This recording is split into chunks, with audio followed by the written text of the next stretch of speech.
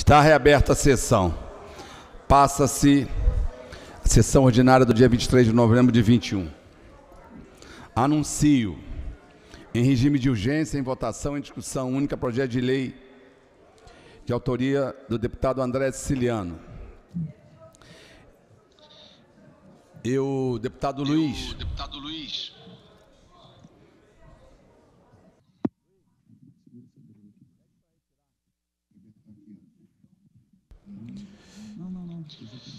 Expõe sobre a adesão Sobre adesão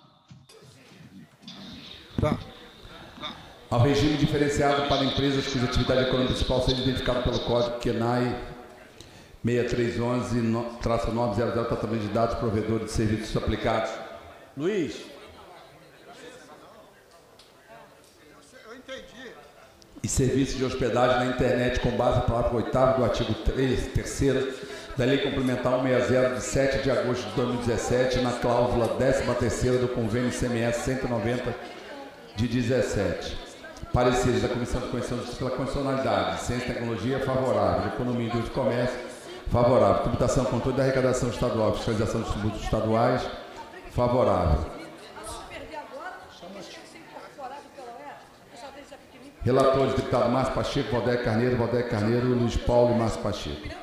Pendente de pareceres das comissões de Constituição, Justiça, de Ciência, Tecnologia, de Economia, Indústria e Comércio, Tributação, Controle da Arrecadação Estadual, Fiscalização dos Tributos Estaduais, de Orçamento, Finanças, Fiscalização Financeira e Controle, e as emendas de plenário. Para emitir parecer pela Comissão de Constituição Justiça, deputado Márcio Pacheco. Senhor presidente, boa tarde. Vossa Excelência, as deputadas e deputados. Parecer favorável às emendas 5 e 6, favorável com subemendas emendas 1 e 2, contrárias às demais emendas, concluindo por substitutivo, pedindo forma final de redação. Senhor presidente. Senhor presidente. Eu pergunto a Vossa Excelência, que é autor do projeto, e ao relator, deputado Márcio Pacheco, que acatou as emendas 5 e 6. A emenda 5 e 6, a emenda 6 diz o seguinte: parágrafo 1 o imposto diferido nas formas do inciso 1, 2 e 3 do presente artigo será de responsabilidade do adquirente e deverá ser recolhido no momento da alienação e eventual saída dos respectivos bens cumulativamente, tomando como, tomando-se como base de cálculo o valor da alienação. Eu entendo que esse termo cumula, cumulativamente, que foi acrescida na emenda, pode gerar dúvida quanto à abrangência, porque não nos resta claro a sua aplicabilidade. aplicabilidade. Então, só pergunto se, se é isso mesmo que o senhor deseja. Se for, Eu sim, não, eu, eu tenho dúvida com a palavra.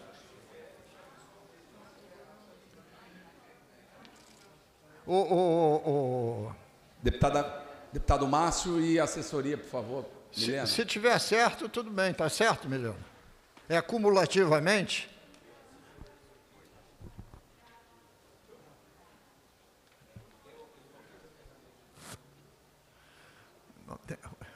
A, a Secretaria de Desenvolvimento não, não, não tem muita crença, não, mas o senhor é o autor, se o senhor quer, assim será.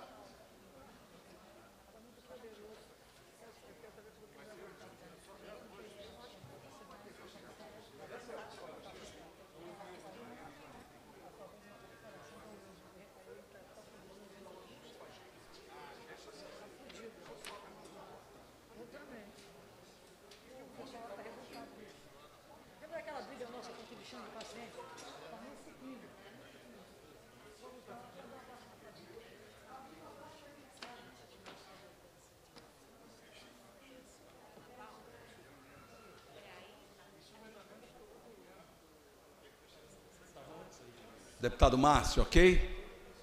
Ok, Luiz? Ok. Pela Comissão de Ciência e Tecnologia, deputado Valdec Carneiro. Deputado Valdec Carneiro. Deputada Dani Monteiro. Ok, o Valdec está na área.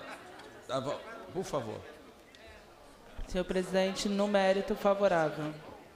Da Comissão de Economia, deputado Noel de Carvalho. Deputado Noel de Carvalho. Deputado Valdeir Carneiro. Sigo parecer do deputado Dani Monteiro na Comissão de Ciência e Tecnologia. Pela Comissão de Tributação, deputado Luiz Paulo.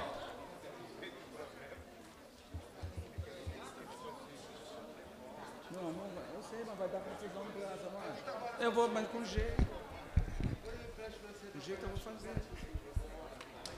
Senhor presidente, no, no mérito, eu dou favorável consoante o parecer da Comissão de Constituição e Justiça. Pela Comissão de Orçamento, deputado Márcio Canela. Deputado Márcio Canela. Deputado Márcio Pacheco. Favorável, presidente. Os pareceres favoráveis. Em votação, o substitutivo conforme a final de redação da CCJ, que a presidência defere. Senhores que aprovam, permaneçam como estão aprovados, vai autógrafo. Anuncio em regime de urgência, em votação, em discussão única, projeto de lei 5105 de 21, de autoria da deputada Renata Souza, institui o, o, que institui o Observatório Mãe Beata de Iemanjá sobre o racismo religioso no âmbito do Estado do Rio de Janeiro e da outras providências. Pareceres da Comissão de Constituição pela condicionalidade, combate às discriminações, preconceito de raça, cor, etnia e religião, procedência nacional, favorável. Em defesa dos direitos humanos e cidadania, favorável. Comissão de Ciência e Tecnologia, favorável. Segurança Pública, Assunto de Polícia, favorável. De Orçamento, Finanças, Fiscalização Financeira e Controle, favorável. Relatores Márcio Pacheco, Carlos Mink, Dani Monteiro, Valdé Carneiro, Marta Rocha e Márcio Pacheco. Pendendo de pareceres das comissões de Constituição e Justiça, de Combate à Discriminação, Defesa dos Direitos Humanos, Ciência e Tecnologia, Segurança Pública e Orçamento, as emendas de plenário.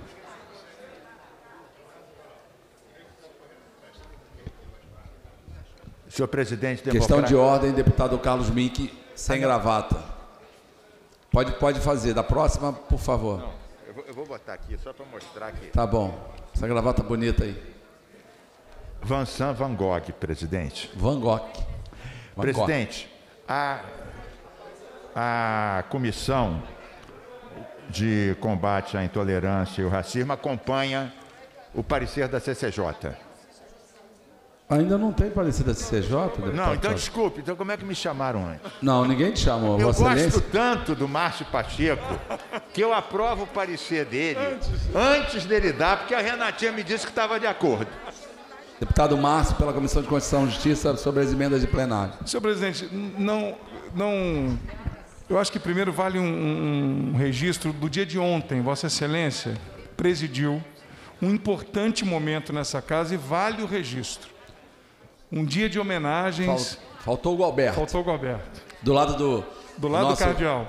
Cardeal. Eu, eu, eu, não quero fazer desse um, um debate, mas vale o, o registro. Vossa Excelência presidi, presidiu ontem uma solenidade ah, por conta dos 10 anos de atividade do Instituto da Fundação Expo Religião. E que, presidido por uma jornalista, que ontem foi, inclusive, Luzia. Da, a jornalista Luzia, e que foi homenageada com a medalha. Luzia Lacerda, obrigado, deputado Luiz Paulo. Foi homenageada com a medalha Tiradentes. E, na ocasião, Sua Eminência, o Cardeal Dom Orani João Tempesta, recebeu o título benemérito de cidadão fluminense, que foi outorga de 2009, de autoria do deputado André Correia, e que precisava ser entregue, foi entregue ontem. Mas, a despeito dessas duas homenagens, que foram lindas, o momento foi emblemático. O não à intolerância, o debate de forma democrática, mas, sobretudo, sobre o bem que faz a religião do que diz respeito ao religar ao que é bom. Então, portanto, quero parabenizar Vossa Excelência. Foi um marco para a Alerj. Quem teve a oportunidade de estar aqui ontem, o deputado Valdec, lotado, o deputado Luiz Paulo fez um belíssimo discurso no, no, no, na tribuna. Essa plenária estava lotada de líderes religiosos, ateus, agnósticos, de movimentos ah, de religiões, matrizes africanas. Foi um evento belíssimo, onde essas autoridades foram homenageadas com moções de aplauso por conta de fazerem parte desse processo da Expo Religião. E eu quero terminar essa minha fala com uma frase do Salmo 133. Né? É bom e agradável que todo. Ó, oh, quanto bom. Suave, ó, oh, quão bom e quão suave é que os, os irmãos, os irmãos vivam, vivam em união. Em união. É como. Como óleo que. Precioso. Eu não vou, fazer, não vou falar tudo que você vai virar. Né? É como óleo, enfim. O mais importante, que sejamos um, presidente. Porque se o amor é a palavra que diz amai-vos uns aos outros, se não for com amor, não pode ser de Deus. Então, tudo aquilo que nós vimos aqui ontem foi uma expressão belíssima do amor daqueles que creem em Deus, ou aquilo que defendem e que creem, nasce do amor. E se nasce do amor, vale a pena defender, vale a pena acreditar, vale a pena viver, né? porque se nós usarmos qualquer, qualquer argumento que não seja o amor para ferir, não é religião, não é de Deus. Qualquer argumento que qualquer entidade, religiosidade, manifestação e movimento usar algo que não seja o amor para com o outro, não pode religar, não pode ser do alto, do divino, de Deus. Então, qualquer ato de intolerância, de incapacidade de crer naquilo que, que o outro acredita, não pode vir de Deus. E ainda mais, termino, presidente, dizendo: eu serei cada vez mais crente quando eu defender aquilo ou aquele que não crê naquilo que eu creio. A minha capacidade de defender aquele que não crê no que eu creio e defender o que ele acredita me fará cada vez mais defensor do que creio. E essa é a beleza seja do Evangelho, daqueles que não acreditam no Evangelho, os que defendem o Evangelho em outras matizes. Mais importante é que defendamos o amor e a defesa de quem não crê como nós. Axé. Axé para quem é de axé, axé. Shalom para quem é de shalom e amém para quem é de amém. Deputado ecumênico, Marco. Olha, o, senhor foi, o senhor foi dando corda, eu fui, presidente. Se deixar, eu vou. Então, parecer, senhor presidente. Sabe? Tem que ser sobre a forma de... Como diria o poeta, em cima do que todo o Márcio falou, ah. Paulo e Bebeto. Só. Qualquer maneira de amor vale a pena. É. Foi, foi. Senhor presidente, temos um acordo sobre o texto e o, a emenda é favorável à emenda 8, favorável com subemenda à emenda 5, corrigido o texto que será do racismo religioso, será coordenado pela Secretaria de Estado. Foi feita uma correção de texto, contrária às demais emendas, concluindo por substitutivo e pedindo forma final de redação. Antes de chamar a comissão de combate às discriminações, lembrar, deputado Márcio, que a Luzia ela está conosco aqui na Assembleia. Ela tem um programa chamado Expo Religião. Já levou o Cardeal, já levou o Hare Krishna, já levou matrizes africanas, já, levar, já levou os indígenas. E ele começou mensal, veio para quinzenal e agora está semanal o projeto, programa na TV Alerj. Ok? Casa do Povo. Deputado Carlos Mink, para emitir parecer sobre as emendas pela Comissão de Combate às Discriminações. Presidente, agora estou devidamente engravatado com Van Gogh. Tortinho, e agora eu estou devidamente na hora de fazer o parecer, porque eu já tinha concordado antes do parecer do presidente Márcio Pacheco. Antes disso, eh, presidente André Siciliano, eu queria fazer um breve reconhecimento a Vossa Excelência nesse tema da intolerância religiosa que sempre, quando a Comissão de Intolerância Religiosa apelou a Vossa Excelência, junto com a nossa companheira Lohama, quando os terreiros estavam sendo dizimados de várias formas, Vossa Excelência convocou chefe de polícia, delegados de polícia, e foi muito efetivo. Então está aqui esse reconhecimento. Quanto ao parecer, primeiro, mais uma vez, louvando a deputada Renata Souza, que ela está muito atenta a essas questões. Não basta nós dizermos que somos contra a intolerância. Há que criar mecanismos. E o observatório é um mecanismo muito importante, será eficiente, combaterá e promoverá o respeito à liberdade religiosa. O parecer em relação às emendas acompanha o parecer da CCJ, dado que foi acordado com a própria autora. Parecer com a CCJ. Pela Comissão de Defesa dos Direitos Humanos e Cidadania, deputada Dani Monteiro. Presidente, deputados e deputadas, especialmente a autora do projeto, deputada Renata Souza. Saúdo a presente proposição porque a intolerância religiosa, ou melhor, o racismo religioso são mazelas sociais, né, advinda ainda de uma sociedade pautada na colonização e na escravização dos corpos. Então é mais do que devido pensar o combate a esse racismo religioso nesse plano, né, nesse prisma mais ampliado. Algumas emendas elas vêm para prejudicar o projeto, desvirtuar sua temática original, que traz o nome da saudosa Mãe Beata de Emanjá, uma grande alorixá, com um grande legado histórico ancestral em defesa dos povos de matriz africana. Então, seria, acho que, crime, pecado, é, desvirtuação de algo que é tão belo proposto aqui por Vossa Excelência. Então, celebrando o acordo que foi feito, inclusive com a CCJ, tendo, inclusive, a senhora protagonizado esse acordo, o meu parecer, no mérito, é acompanhando o parecer da CCJ. Pela Comissão de Ciência e Tecnologia, deputado Valdeir Carneiro.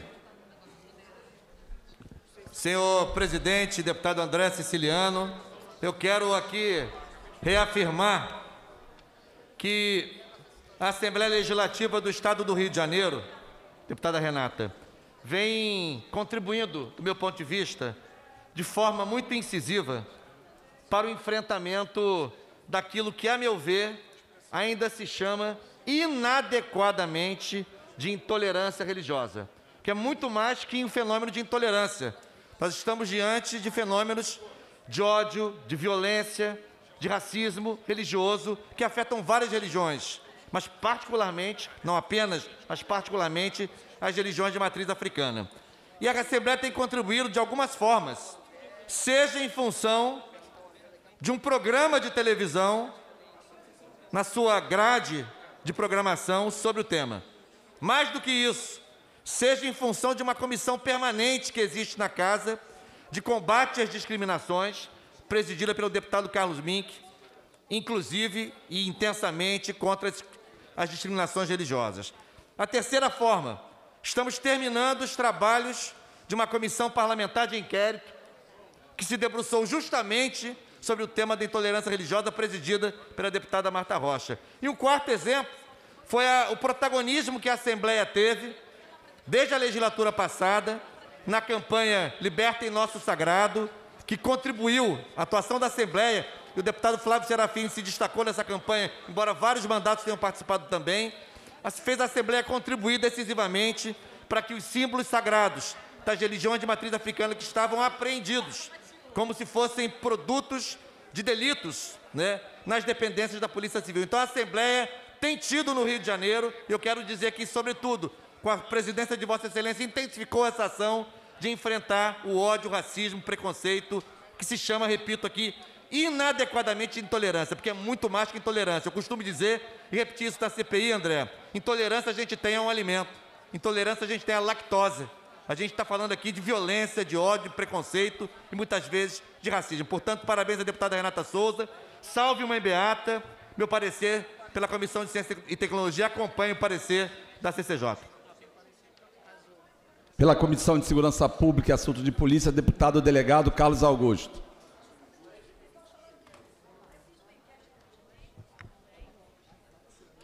Deputado Carlos Augusto. Deputado Coronel. Opa, está presente. Perdão, presidente. Acompanhe a CCJ.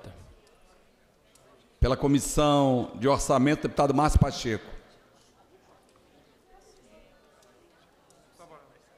Orçamento favorável. Está em dúvida? Acabou de fazer um discurso bonito. Não, é favorável. Os pareceres emitidos, quero dizer, lembrar a deputada líder do PSOL, que há um destaque, ele está prejudicado, tá? Sim, senhor presidente. Está aqui no meu Padre Júlio. Lá, do, lá de Marapicu, igreja ortodoxa. Nova Iguaçu. Viu, Márcio?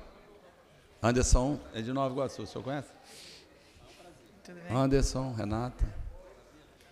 Declaração de voto. Presidente. Vamos votar. O substitutivo é o projeto de lei 5105 de 21. Os senhores que aprovam, com forma final de redação. Os senhores que aprovam, eles estão aprovados, vai autógrafo. Para a declaração Com de voto contrário, deputado, ao final, vamos fazê-la. Declaração. Perfeito. E outra Deputado Samuel, cont... contrário. Contrário. Ok. Quem quiser fazer declaração ao final da presente sessão. Perfeito. Só pela ordem, muito rápidos. Caso é, aqueles deputados e deputadas que quiserem compor a coautoria do projeto, o projeto está aberto, em especial os deputados e as deputadas que fazem parte da CPI contra a intolerância religiosa. Então, submeter aí a Vossa Excelência e a todos os deputados e deputadas a abertura de coautoria do projeto que institui o Observatório Mãe Beata de Emanjá sobre racismo religioso no âmbito do Estado do Rio de Janeiro. Muito obrigada, senhor presidente. Então vamos escolher coautorias. Deputado Carlos Mink, Valdec Carneiro, Marta Rocha, Flávio Serafim, Luiz Paulo, Mônica Francisco, Dani e André Siciliano. Marcelo Cabeleireiro. É, declaração de voto, Daniel, Daniel Librelon, contrário. Subtenente Bernardo. Rosenberg quer falar, não? É, voto ao contrário, presidente. Rosenberg, Reis, contrário. Subtenente. Perdão, Daniel Librelon é abstenção. Rosenberg, contrário. Subtenente. Coautoria. Com? Com. Ah, que é coautoria. Giovanni Ratinho, seu som está aberto. Então, anuncio em tramitação ordinária a discussão da resolução 761 2021, de autoria do deputado Márcio Canela, que concede medalha Tiradentes e seu respectivo diploma à senhora Estela Mares Neves Norões. Parecida da Comissão de Normas Internas e Proposições Externas favorável. Relator deputado Chico Machado. Em discussão. Não havendo quem queira discutir, encerrada a discussão em votação, os senhores que aprovam permaneçam como estão aprovados. Vai a promulgação, com voto pela abstenção do novo. Projeto de resolução 76421, de autoria do deputado Valdeir Carneiro, concede a medalha Tiradentes, respectivo diploma, à Casa Fluminense. Parecida da Comissão de Normas Internas e Proposições Externas, favorável, relator deputado Rosenberg Reis. Em discussão, não havendo quem queira discutir, encerrada a discussão, em votação, os senhores que aprovam permaneçam como estão aprovados, vai a promulgação, com voto pela abstenção do novo. Projeto de resolução 774, de 21, de autoria do deputado Chico Machado, que condecora com diploma e respectiva medalha Tiradentes ao excelentíssimo senhor desembargador doutor Ivan da Costa Alemão Ferreira, parecida da Comissão de Normas Internas e Proposições Externas, favorável. Relator deputado Márcio Canela. Em discussão, não havendo quem queira discutir, encerrada a discussão, em votação, os senhores que aprovam permaneçam como estão aprovados, vai a promulgação. Senhor presidente, abstenção da bancada do pessoal, por favor. 774, abstenção do pessoal, ok. Isso, obrigada. Projeto de resolução 79321, de autoria da Comissão Parlamentar de Inquérito, e resolução 372 de 21, que aprova o relatório final e as conclusões da Comissão Parlamentar de Inquérito destinada a investigar a queda na arrecadação do Estado do Rio de Janeiro referente às receitas compensatórias da exploração de gás. Em discussão, para discutir, deputado Luiz Paulo. Desde já, antes, deputado usar a tribuna, parabenizá-lo, deputado. Presidente, querido. Parabenizar a atuação. Ratinho. Já, já, Ratim. Do deputado Luiz Paulo e de todos os membros da CPI. Parabéns pelo belíssimo trabalho. Ratinho. Fala, Ratinho. Instante só, Luiz. Presidente, é só, é só para pedir é, que inclua em pauta, por favor, o projeto de lei 1384 de 2019, de minha autoria. Já foi em primeira discussão, já tem os pareceres aí do nosso líder do governo, Márcio Pacheco, e da CCJ. Eu gostaria que o senhor incluísse nas próximas pautas, por favor. Qual é o número? 1384 de 2019. Já, já digo a Vossa Excelência. Senhor presidente, deputado Marcelo Dino. Sim, Marcelo. Sim, Marcelo. Gostaria de pedir também que incluísse também. além da- Tá baixo, Marcelo, o som tá baixo. Marcelo, o som tá baixo. Gostaria de pedir também que incluísse em pauta também de suma importância tanto o 1384 quanto o 1325 e o 1326. Olha só. É, aqui com muita transparência. Se for o que dá anistia, ele não virá a pauta. Se for sobre anistia, ele não virá a pauta. Vossa Excelência, remete para mim, por favor, os números para o meu WhatsApp. Tá? Falamos já. Deputado com a palavra, deputado Luiz Paulo. Senhor, senhor presidente, deputado André Siciliano, senhoras e senhores deputados presentes em plenário, senhoras e senhores deputados que nos acompanham de forma remota, senhora intérprete da linguagem de Libras,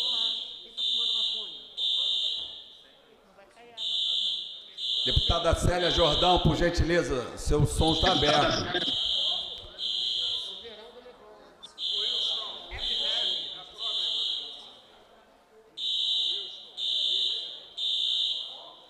É o alarme de incêndio. Mas o som dela também estava aberto.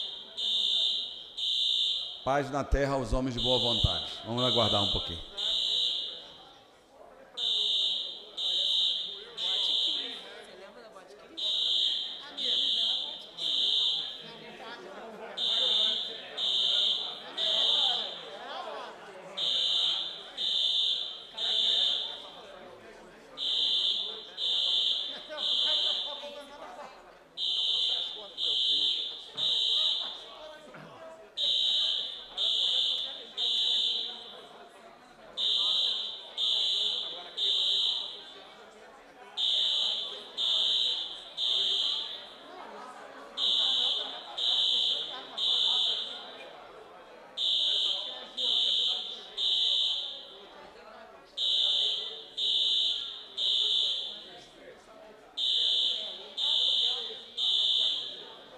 Presidente.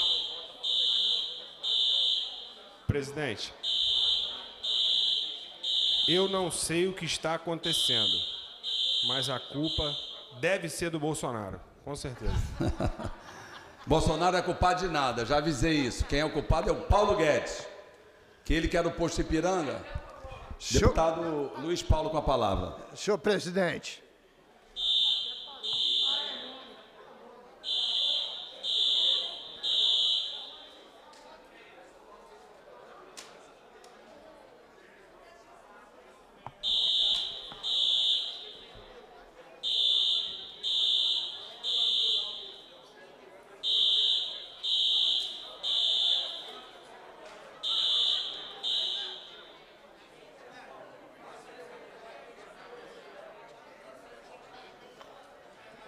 Bom, vamos tentar. Já, já saudei as senhoras e os senhores deputados. Estou saudando agora a senhora intérprete da linguagem de Libras, que leva a nossa voz aos deficientes auditivos. Senhor presidente, quero aqui discutir o relatório final que está na pauta de hoje da CPI que apurou as perdas dos estados derivada das participações especiais, mas também derivada da cadeia produtiva de ICMS do setor, do setor de óleo e gás. Esta CPI, deputada Lucinha, foi proposta pelo presidente da Casa, deputado André Ceciliano, e que me honrou com a possibilidade de presidi-la, tendo como relator o deputado Márcio Pacheco, e com a efetiva participação de diferentes deputados. Cito deputada Marta Rocha, deputado Valdec Carneiro, deputado Carlos Macedo, deputada Célia Jordão, deputado Alexandre Freitas, e, quiçá, deputado Dionísio Lins, e de memória posso ter ocorrido algum esquecimento. E ocorreu, deputado Chico Machado. Deputado Chico Machado. Esta CPI trabalhou praticamente por nove meses, que ela se iniciou em março de 2021. Na nossa primeira reunião, discutimos um pormenorizado plano de trabalho para fazer uma CPI de forma orgânica. Aprovado esse plano de trabalho, fizemos 19 reuniões da CPI, deputada Lucinha, todas de forma remota, porque estava no, no período mais ativo da Covid. 19 reuniões de forma remota. E desse cada reunião, função dos temas debatidos, expedíamos ofícios que nos desse dados suficientes para fazer uma análise a posteriori. Então foram, foram emitidos mais de 190 ofícios, principalmente para Petrobras, para a Agência Nacional de Petróleo, para a Secretaria de Fazenda, para a Procuradoria-Geral do Estado, entre outras instituições. A CPI contou com a presença ativa da assessoria fiscal, presidida pelo economista Mauro Osório, mas com a contribuição efetiva da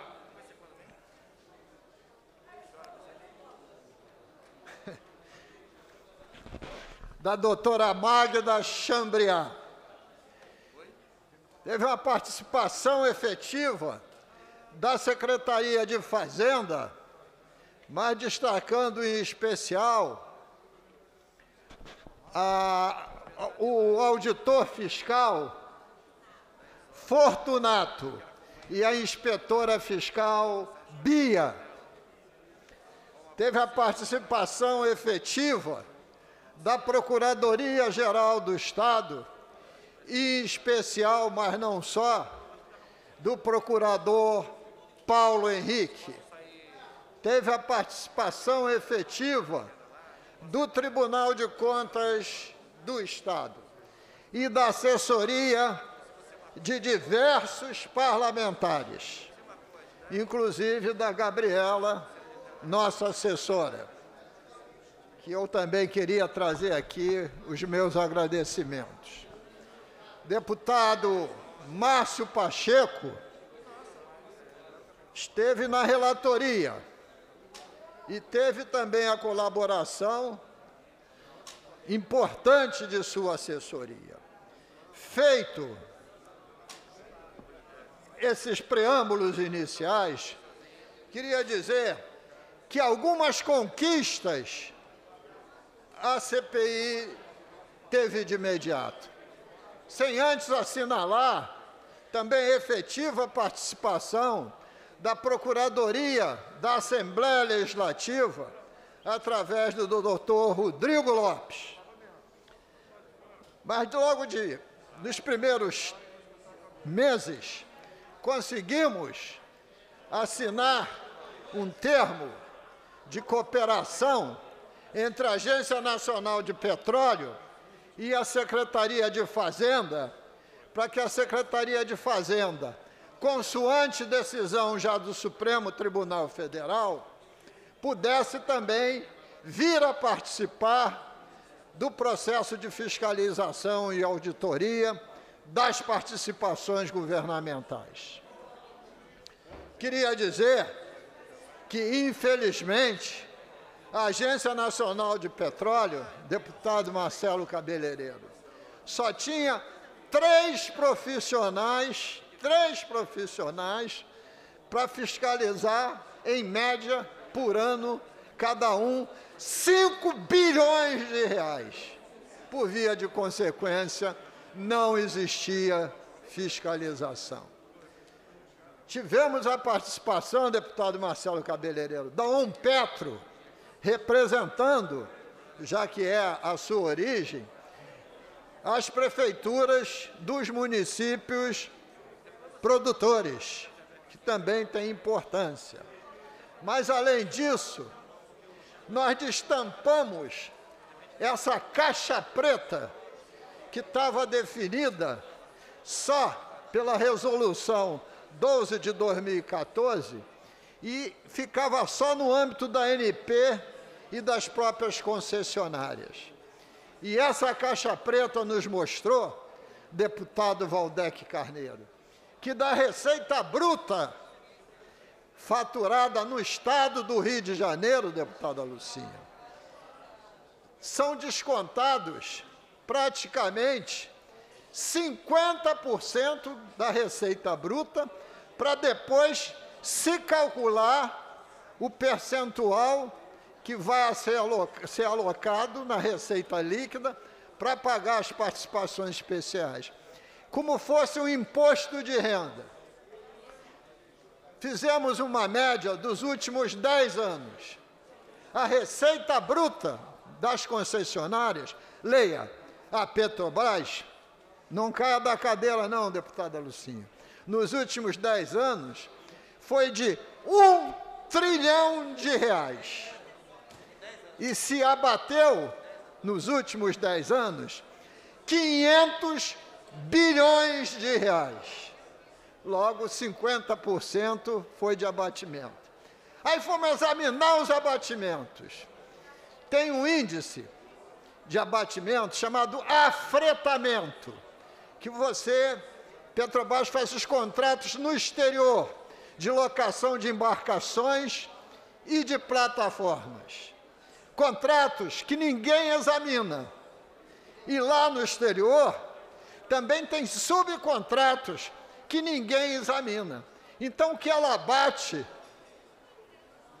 você não conhece. Tem um outro indicador, um outro indicador chamado, chamado depreciação de postos e depreciação de bens.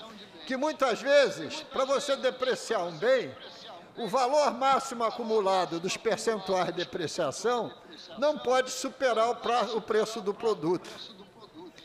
Nem isso era verificado. E tem um outro item chamado provisão de abandono. Quando acaba a exploração, que não acabou, nenhum poço ainda foi fechado, a empresa teria recursos para retirar tudo do fundo do mar.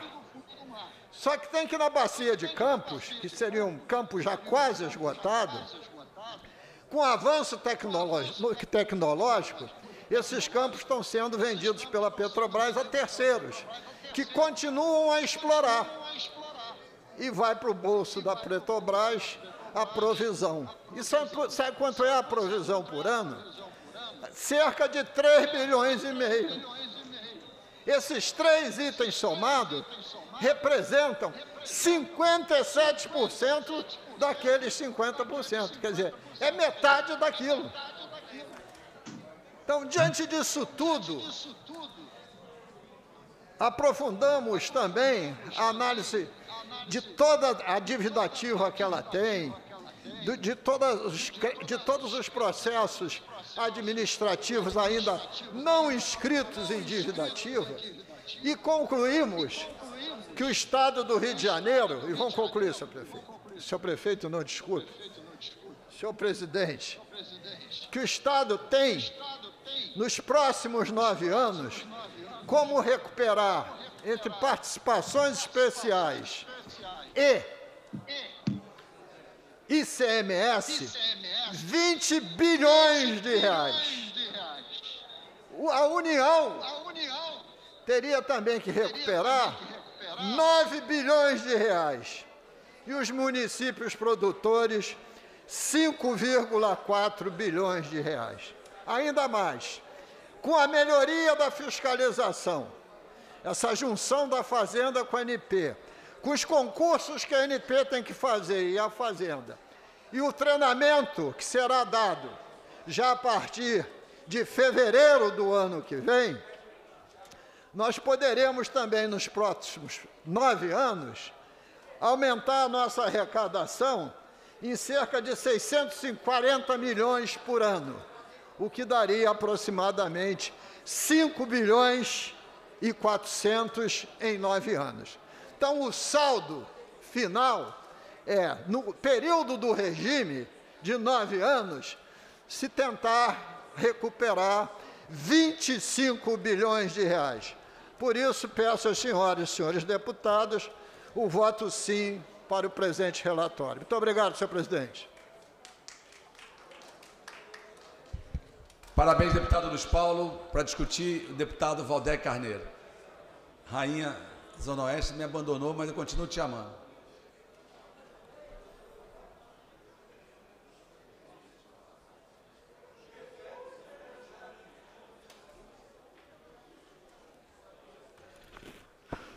Senhor presidente, senhoras deputadas, senhores deputados, eu fiz questão de me inscrever para discutir este relatório final da CPI que a Assembleia instaurou para investigar as perdas de arrecadação, notadamente no tocante às participações especiais na exploração do petróleo e do gás. Em primeiro lugar, porque é uma forma de destacar e de reconhecer é, a liderança e a condução é, dos trabalhos por parte do deputado Luiz Paulo, que presidiu esta CPI.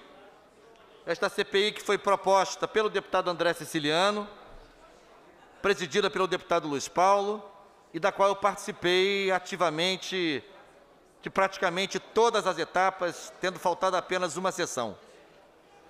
Quero, portanto, reconhecer aqui de maneira muito clara o esforço de sistematização e de coordenação dos trabalhos efetuado pelo deputado Luiz Paulo. Quero ressaltar também que tivemos na relatoria do deputado Márcio Pacheco uma relatoria muito aberta, muito aberta ao diálogo. Vários de nós, membros da CPI, participamos diretamente da produção do texto, sistematizado pelo relator, mas que contou com muitas contribuições de membros da CPI. Quero ressaltar ainda a contribuição das assessorias, das assessorias eh, dos mandatos que compuseram a CPI, especialmente a assessoria do deputado Luiz Paulo, a assessoria eh, eh, do relator. Quero ressaltar também a assessoria da Darely Rodrigues, do nosso mandato, que acompanhou o tempo todo a CPI. Portanto, também reconhecer, deputada Tiaju, o esforço e trabalho importante dos assessores, que também se debruçaram sobre dados, planilhas, textos, enfim. Reconhecer também ainda dentro da LERJ o apoio da Procuradoria da Casa, da Procuradoria-Geral da Casa, sobretudo na figura do procurador Dr. Rodrigo Lopes, e também da assessoria fiscal da Assembleia Legislativa, que trouxe contribuições ultra especializadas, sobretudo na figura da senhora Magda Chambriard, que é uma especialista, ela mesma, no passado, tendo dirigido a, a Agência Nacional é, do Petróleo, ANP. Quero, apenas para complementar, o que disse o deputado Luiz Paulo, Carlos Mink, deputado querido, impressionante como o Rio de Janeiro não cuidou bem da fiscalização de receitas que eram suas, suas de seus municípios, das nossas populações. A ANP não cuidou, isso ficou claro, porque tinha, deputado Luiz Paulo me corrija, tinha quatro fiscais, tinha três fiscais, tinha três fiscais para fazer o trabalho de monitoramento, checagem, enfim, conferência dos valores apresentados pelas concessionárias. Mas também, Luiz Paulo, e nosso relatório fala sobre isso, não foi só a ANP que vacilou, não. A autoridade estadual também. As autoridades fazendárias do Estado também não consideraram a importância de organizar uma estratégia rigorosa, eu diria mesmo, usando uma expressão forte aqui, draconiana de fiscalização de recursos que em 10 anos foram superiores a mais de um trilhão, um trilhão de reais. Por isso, a grande contribuição, a primeira grande contribuição da CPI foi ter suscitado, logo no início dos seus trabalhos, que a ANP e a Secretaria de Estado de Fazenda pudessem celebrar um acordo que era reclamado há algum tempo para aperfeiçoar os mecanismos de fiscalização e a própria ANP tendo se comprometido a realizar concurso público para, para é, é, engrossar os seus quadros com profissionais capacitados para esse trabalho de fiscalização. Então, foi a primeira coisa importante a destacar aqui, esse acordo celebrado pela Fazenda Estadual e pela ANP para a fiscalização. Segunda coisa importante, os valores da, da, da, de participação especial já começaram a subir logo no início também dos trabalhos da CPI. No primeiro trimestre de 2021, já que a participação é, especial é paga trimestralmente, no primeiro trimestre já houve um aumento expressivo das receitas do Rio de Janeiro em relação ao último trimestre de 2020, ou seja, a CPI também assustou, a CPI também impeliu as concessionárias é, a é, efetuar um pagamento mais, digamos, correspondente à, à realidade da produção é, de petróleo é, no Rio de Janeiro. O que me chamou também a atenção, e são dois últimos pontos que eu quero aqui ressaltar, esse dado trazido pelo deputado Luiz Paulo sobre os abatimentos, porque as concessionárias têm direito, na forma da lei, a abater, a deduzir é, despesas que elas fazem no processo de exploração do petróleo e do gás,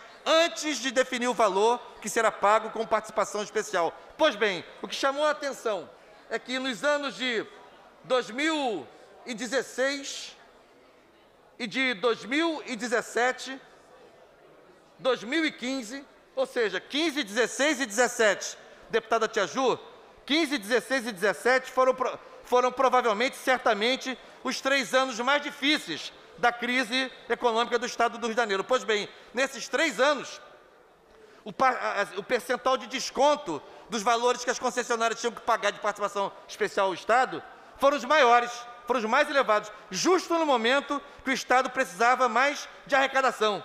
Então, as concessionárias descontaram percentuais mais, muito elevados. Eu vou dar só um exemplo para a gente entender o que estamos falando. É, é, no ano, por exemplo, de 2017, de 2016, aliás, um ano crítico para o Rio de Janeiro, o percentual de desconto foi de quase 80%. 78% as concessionárias abateram é, antes de pagar as participações especiais. Em 2020 também, ano muito difícil por causa da pandemia, justamente nos anos mais críticos para a economia do Rio de Janeiro, 2015, 16, 17, Luiz Paulo, e 2020, justamente nesses anos, as concessionárias fizeram o maior, é, praticaram a percentual de abatimento. E chama a atenção para um último dado, que eu fiz questão de, de acentuar nos debates na, em relação à produção do relatório final.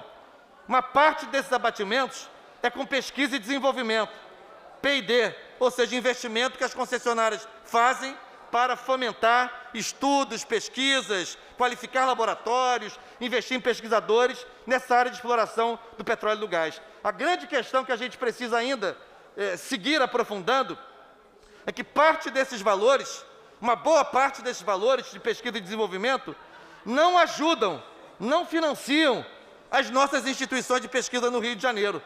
Esse é o pulo do gato. Além da questão do afretamento, que o deputado Luiz Paulo mencionou, que é um percentual altíssimo, uma questão muito importante é o seguinte: os valores abatidos pelas concessionárias antes de pagar as participações especiais tinham que ficar no Rio de Janeiro em boa medida.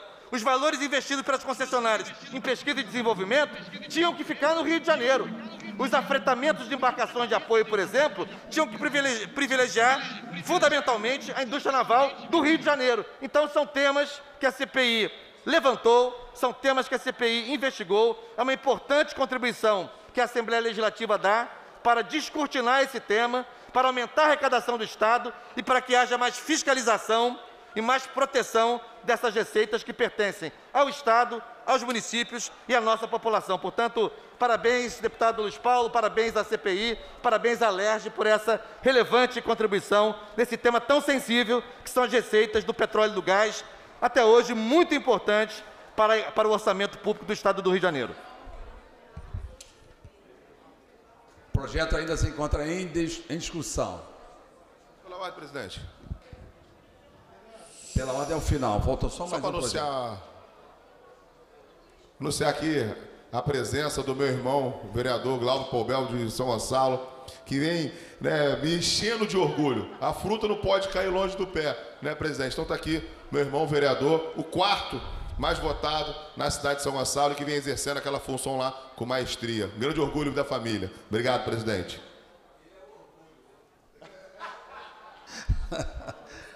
Seja bem-vindo, meu irmão.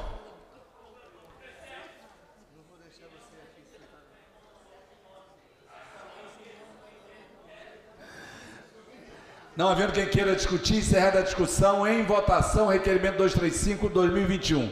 Seus que aprovam, permaneçam como estão. Aprovado.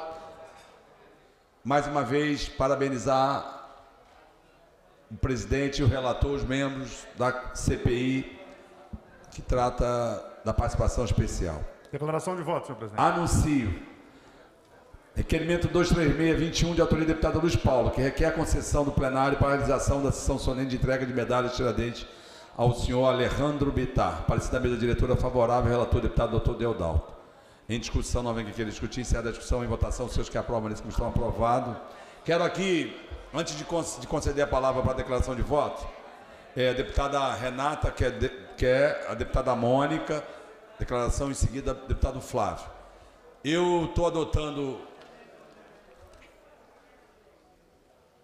em relação a requerimentos de uso do plenário, um procedimento. Nós temos 70 deputados. Nós temos a cada mês 20 dias úteis, 21, 22. O deputado que quiser requisitar o plenário, a cada 60 dias terá direito uma requisição.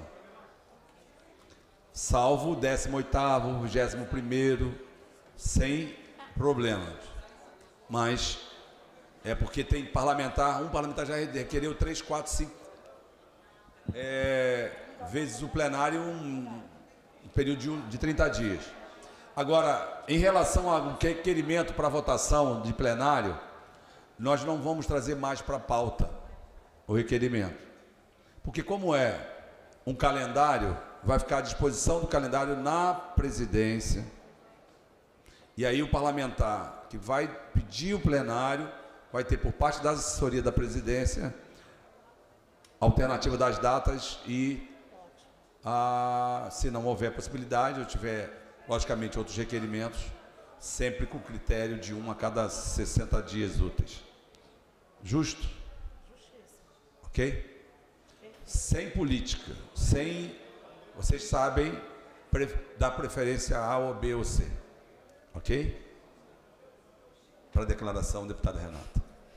Senhor presidente, na verdade, venho aqui declarar o voto em favor da, do observatório que institui aí o Observatório Mãe Beata de Emanjá sobre racismo religioso no âmbito do Estado do Rio de Janeiro.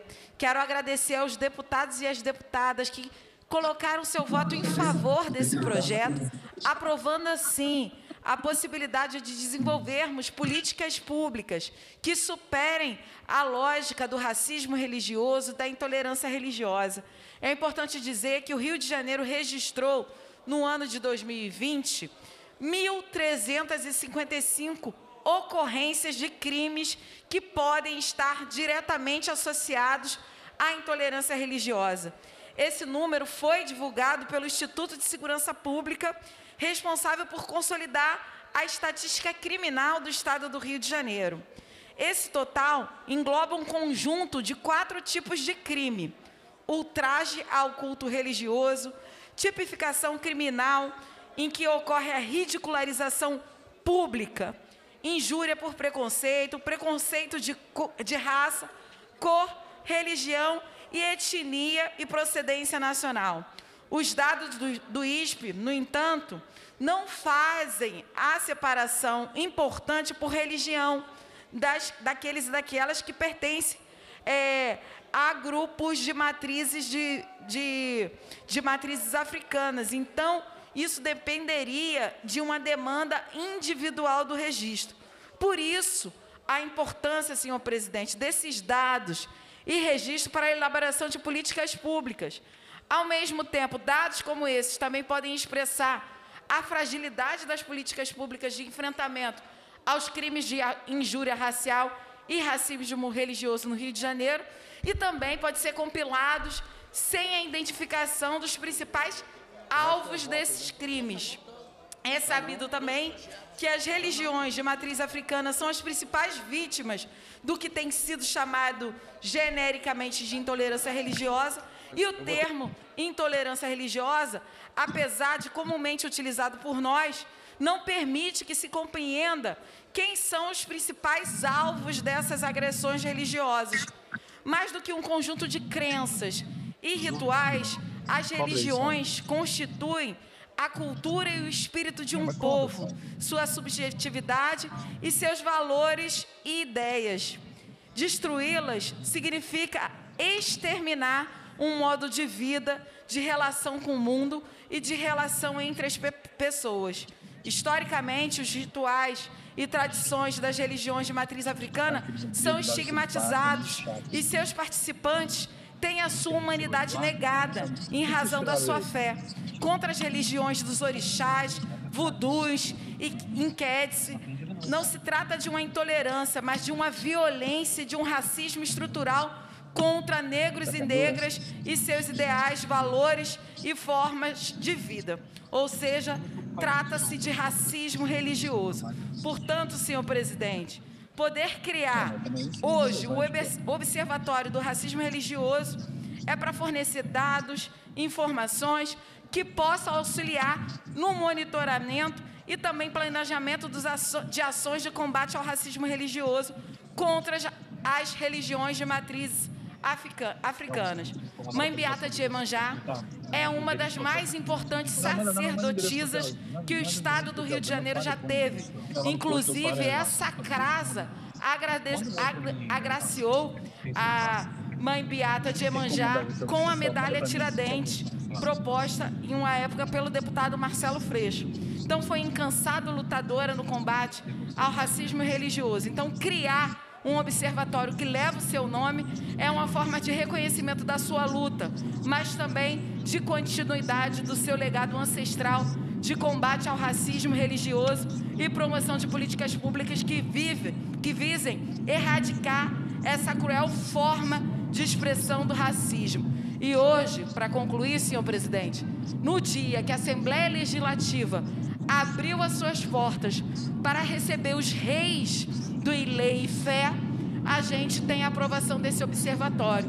Falar aqui que hoje recebemos reis do Ilê e Fé aqui na Assembleia Legislativa que farão uma comitiva de reis e rainhas, princesas nigerianas ao Brasil no ano que vem e a LERJ sediará esse encontro porque a gente entende também que há uma busca pela nossa luta ancestral, que foi historicamente apagada com muito sangue, com muita violação da humanidade de pretos e pretas vindos escravizados de África. E lembrar, senhor presidente, que nós não somos descendentes de escravos, nós somos descendentes de reis e rainhas que, pela ganância do capitalismo, pela ganância de alguns, escravizaram os nossos ancestrais. Viva a Mambiata de Emanjá, viva os nossos ancestrais, seguimos na luta pela potência que é a diversidade religiosa no nosso país. Obrigada.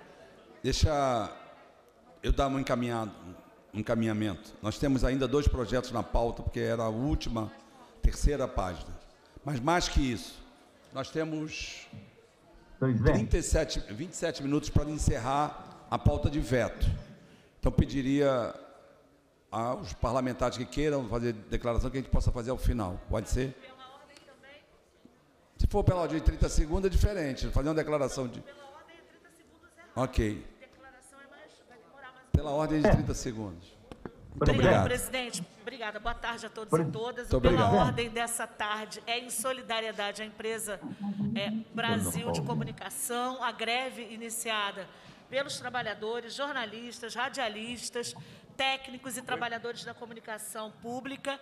É importante que essa casa faça uma alusão a um momento de resistência contra o ataque à liberdade de imprensa e à difusão de informação.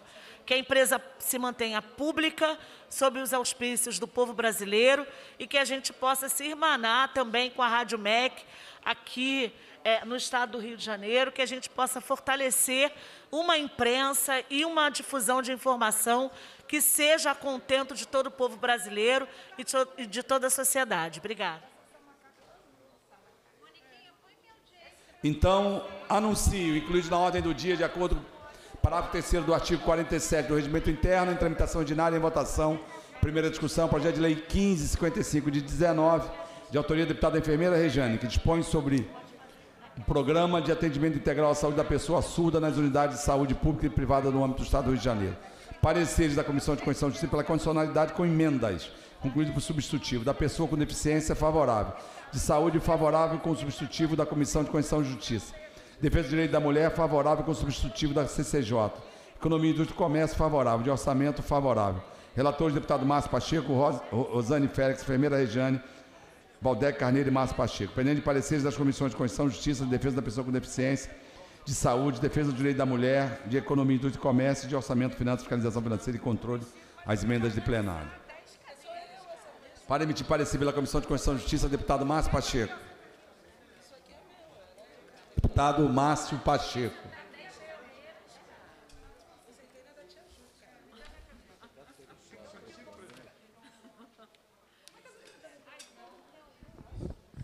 Favorável às emendas 8, 9, 20, 21 e 22. Favorável com subemenda às emendas 1 e 7. Favorável com subemenda aglutinativa às emendas 2, 10 e 14. Prejudicadas as emendas 5, 6 e 15 pela emenda 5 da CCJ, emenda 11 pela emenda 3 da CCJ, emendas 12, 13, 17 e 19 pela emenda 1 da CCJ, emenda 18 pela emenda 2 da CCJ, contrárias às demais emendas, concluindo por substitutivo.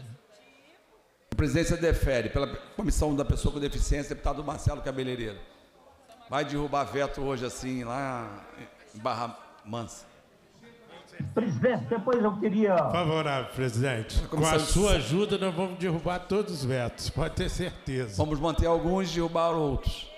Você que vai definir a forma de votação. Não, não, nós somos colegiados, a gente discute e a gente avança no entendimento. Você Pela tá me Comissão ouvindo, de- presidente? da Comissão de Saúde, a nobre deputada Marta Rocha.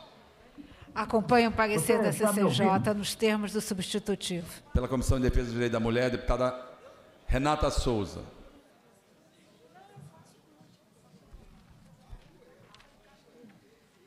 Senhor presidente, trata-se do projeto que cria o programa de atendimento integral à saúde da pessoa. Opa! É esse mesmo? A saúde. Sobre o programa de atendimento integral à saúde da pessoa surda nas unidades de saúde pública e privadas no âmbito do Estado do Rio de Janeiro. Nesse sentido, o nosso voto é favorável ao projeto e contrário às emendas 12, 13, 16, 17, 18, 19, 23, 24, 25, 26 e 27. Favorável às demais emendas. Obrigada.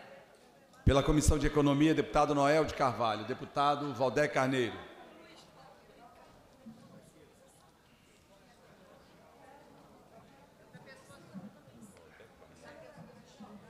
Eu acompanho o parecer emitido agora pela deputada Renata Souza pela Comissão de Defesa dos Direitos das Mulheres, não é isso? Por favor. Pela Comissão de Orçamento, deputado Márcio Pacheco.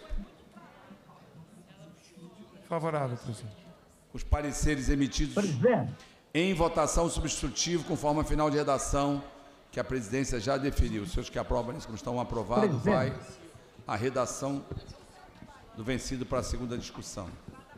Incluído na ordem do dia, de acordo com o parágrafo 1 do artigo 47 do Regimento Interno, em tramitação ordinária em primeira discussão, Projeto de Lei 4526 de 21, de autoria da deputada Tia Ju, que altera a Lei número 5.645 de 2010 para incluir no calendário oficial do Estado do Rio de Janeiro Dia Estadual de Mulheres e Meninas na Ciência a ser comemorado anualmente no dia 11 de fevereiro. Pendente de pareceres das comissões de Constituição, Justiça, Defesa do Direito da Mulher e de Ciência e Tecnologia. Presidente. Sim, deputado Eliomar. Presidente, eu estou falando há muito tempo, não sei se você está me ouvindo, é que eu queria pedir a coautoria no projeto da deputada Renata Souza. Ok. Pela comissão, está resolvido. Eu ouvi agora, acho que o som de Vossa Excelência estava baixo ou estava fechado. Pela Comissão de Constituição e Justiça, deputado Márcio Pacheco.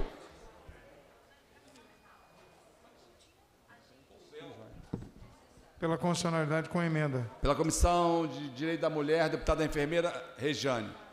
Deputada enfermeira Rejane. Deputada Renata Souza. Deputada Renata Souza. Deputada Renata Souza.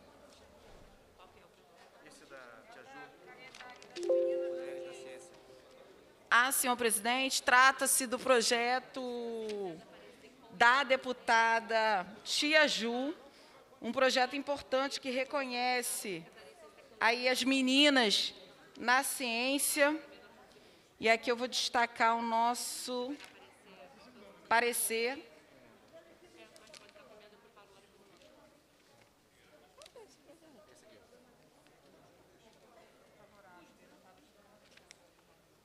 Perfeito, senhor presidente.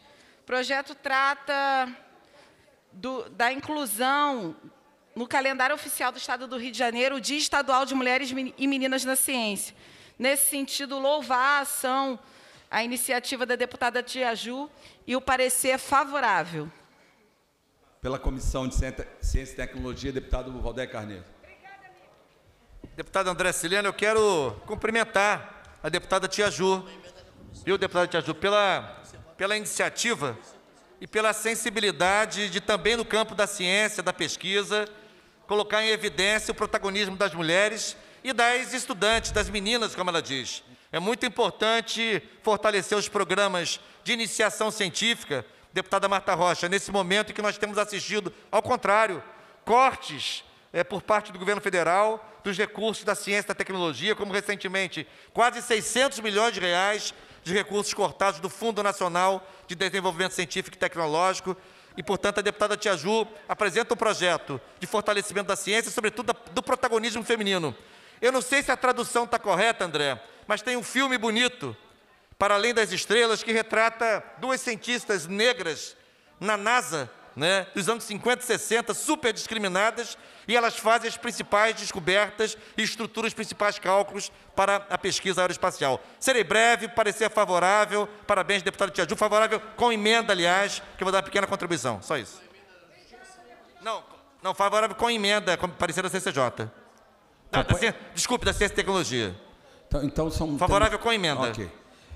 Com os pareceres emitidos em discussão. Não havendo... Aqui, eu vou precisar sair às 5 horas. Infelizmente, eu não vou conseguir votar os vetos. Deputada Tia Ju. Não, depois. Pode ser o final. A tia Ju, não. Não, pode ser o final. Por favor, deputada. Não, pode ser o final, Por presidente, favor. que é só uma saudação, na verdade, um agradecimento a todas as comissões que deram parecer a esse projeto tão importante de incentivo e de iniciativa para que as meninas e as mulheres possam também estar inseridas no contexto da ciência. Bem lembrado aqui o deputado Valdec de um filme que é emblemático, né, de mulheres negras ali lutando é, na NASA para que é, a sua capacidade intelectual fosse reconhecida, né? E é isso que a gente vê ainda no dia de hoje. Obrigada, obrigada, presidente, e obrigada a todos os deputados e deputadas das comissões que deram parecer favorável. Não havendo quem queira discutir, encerrada a discussão, em votação, parecida da CCJ com emenda. Seus que aprovam, permaneçam como estão aprovados. Em votação, parecida da Comissão de, Ciência e Tecnologia. Seus que aprovam, permaneçam como estão aprovados. Em votação, projeto assim emendado. Seus que aprovam, permaneçam como estão aprovado. A redação do vencido para a segunda discussão. Nada mais a tratar na sessão ordinária, a presidência encerra os trabalhos. Havendo número legal sobre a proteção de Deus, iniciamos os nossos trabalhos. Está aberta a primeira sessão extraordinária do dia 23 de novembro de 21. A presidência convida a deputada Marta Rocha a fazer a leitura da ata da sessão anterior.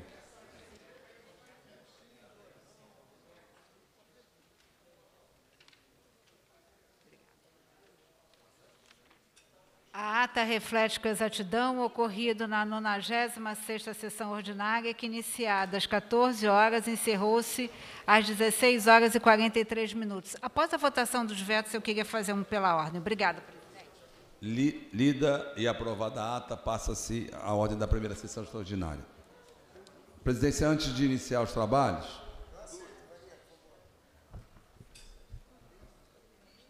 deputado Marcelo Dino, se encontra? não? Deputado Marcelo Dino.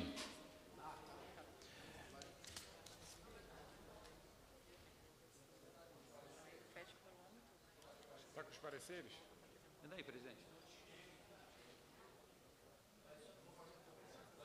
Presidência, antes de iniciarmos por bloco, a votação, é, eu quero encaminhar, porque tem acordo na, nos vetos do dia de hoje. Nós acordamos e os únicos dois que nós não chegamos ao bom termo, na verdade, um foi retirado, o número um, 18 e 19, nós vamos costurar o acordo para quinta-feira. Então, nós temos é, dois vetos mantidos, que é o, o segundo e o sétimo da pauta. Nós temos rejeitado o terceiro, quarto, quinto, oitavo, décimo, décimo segundo, décimo terceiro, décimo quinto, décimo sexto, décimo dezessete da pauta. Temos mantidos com destaques 6, 9, 11 e 14. Então, eu queria dar um encaminhamento e fazermos uma votação simbólica do dos acordos. Os senhores que aprovam permaneçam como estão, aprovado. Então, eu vou ler os, os, os vetos acordados pela manutenção do veto, 2 e 7 da pauta, e vou colher o parecer. Anuncio em discussão única veto total oposto ao projeto de lei 2349 de 20, de autoria dos deputados Luiz Paulo e Lucinha, que fica proibido o reajuste a maior das tarifas realizadas pelas concessionárias e permissionárias dos serviços públicos enquanto perdurar a pandemia, função do novo coronavírus, Covid-19 e da outras pro- providências. Também o veto número 7, veto parcial oposto ao projeto de lei 3533 de 21, de autoria da deputada Marta Rocha, que altera o parágrafo 6 do artigo 1 da Lei 9040, de 2 de outubro de 2020, dependendo de pareceres das comissões de, emendas condicionais e veto. Para emitir parecer sobre o segundo e o sétimo da pauta, o nome do deputado Marcelo Dino, presidente da Comissão de Emendas Condicionais e Vetos. Pela manutenção, senhor presidente. Com os pareceres emitidos, em votação, os senhores que aprovam como estão, aprovado o parecer da Comissão de Emendas Condicionais e Veto, que é pela manutenção dos vetos. Eu só registrar que em relação ao veto ao PL 2349 de 20, o segundo da pauta, apresentarei um novo projeto de lei para que a Petrobras, aquela que enforca a população brasileira, não possa dobrar o preço do gás de cozinha, industrial e do GL, do GN, do GNE, do gás natural veicular, do GNV, no ano que vem, como eles desejam. Só fazendo o Posso fazer uma registro. provocação? Sem dúvida nenhuma, presidente. Quantos debates nós fizemos no plenário do Tiradentes, que Vossa Excelência dizia que tinha prejuízo a Petrobras porque ela mantinha os preços artificialmente. Vossa Excelência lembra dessa- dessas discussões, deputado Luiz Paulo? Senhor presidente, cada momento histórico é diferente. Nesse momento histórico, não era o gás primeiro, era a gasolina. Não, era todo- Porque, não, era a gasolina.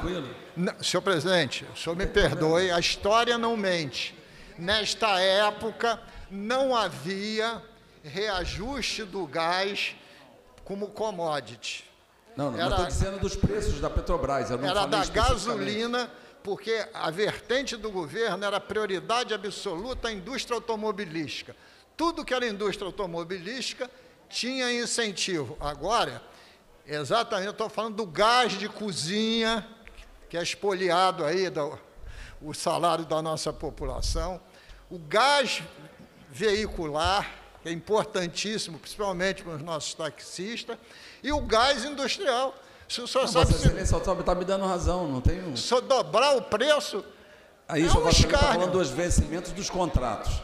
Mas o reajuste do gás de cozinha, GNV e gasolina era, segundo Vossa Excelência, mantido artificialmente sem correção. Só isso. Não, não, não. É, é só, é momento, não, não tem problema, está tudo registrado, não, não, tá- filmado. tá- a história registrou. É.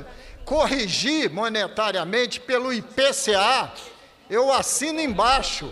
Agora, corrigir o gás por preços internacionais de barril de petróleo e variação cambial do dólar é crime, crime contra a economia nacional, Eu também acho a mesma coisa. Agora vamos, deputado. Ô, deputado André Sileno, presidente, o deputado Luiz Paulo concordou com a Pode manutenção. declarar, em Eu sou- relação- eu sou contrária. Ao 2349, Isso, Vossa sou contrária ao votou. veto do governador ao projeto que foi referido agora Ok. pelo Luiz Paulo. Então Sou vamos contrária. agora aos acordos pela rejeição dos vetos. 3, 4, 5, 8, 10, 12, 13, 15, 16, 17. Então, eu vou ler e depois vou colher o parecer. Terceiro da pauta. Veto total aposto ao projeto de lei 40 438 de 19, de autoria dos deputados Lucinha, Carlos Caiado, Alana Passos e Márcio Alberto, que dispõe sobre a celebração de convênio de cooperação entre o Poder Executivo e as concessionárias de transporte ferroviário de passageiros para o combate à comer- comercialização ilegal de cigarros e outras drogas lícitas e ilícitas nas estações no interior das composições, na forma que menciona. Pendente de parecer das comissões de emendas constitucionais e vetos.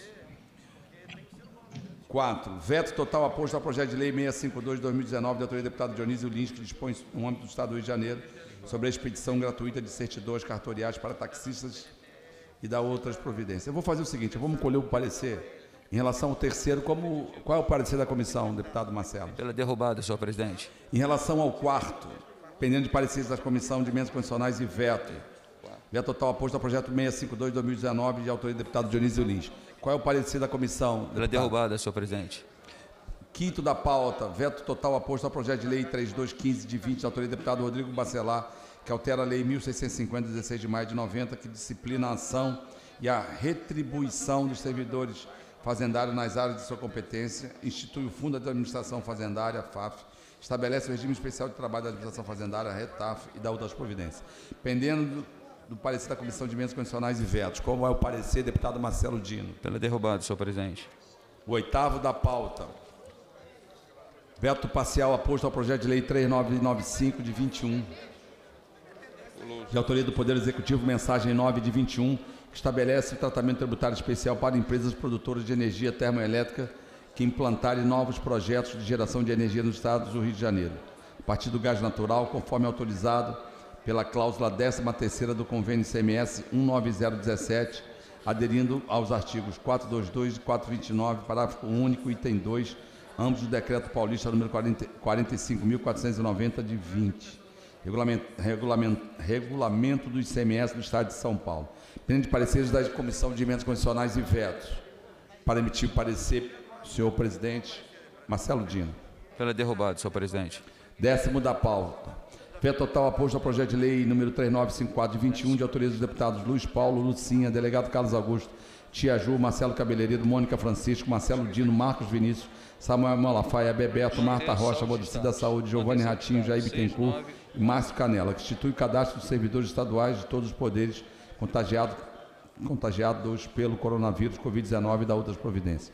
Pendente de parecer da Comissão de Emendas Condicionais e Vetos. Para emitir parecer, o nobre deputado Marcelo Dino. Pela derrubada, senhor presidente. Décimo segundo da pauta, veto parcial aposto ao projeto de lei 4054 de 21, de autoria dos deputados Sérgio Fernandes, Marta Rocha, Samuel Malafaia, Adriana Batosar, Dionísio Lins, Vandro Família, Valdeci da Saúde, Marcelo Dino, Doutor Deodalto, Márcio Canela, Atila Nunes, Marcelo Cabeleireiro, Marcos Miller, Bebeto, Valdo Ceasa, Jair Bittencourt, Marcos Vinícius, Noel de Carvalho, Eliton José, Eurico Júnior, Léo Vieira, Giovanni Ratinho e Célia Jordão, que dispõe sobre o estímulo ao empreendedorismo feminino no âmbito do Estado do Rio de Janeiro. Pendente de pareceres da Comissão de Emendas Condicionais e Vetos. Qual é o parecer, deputado? Pela derrubada, senhor presidente. Veto total aposto.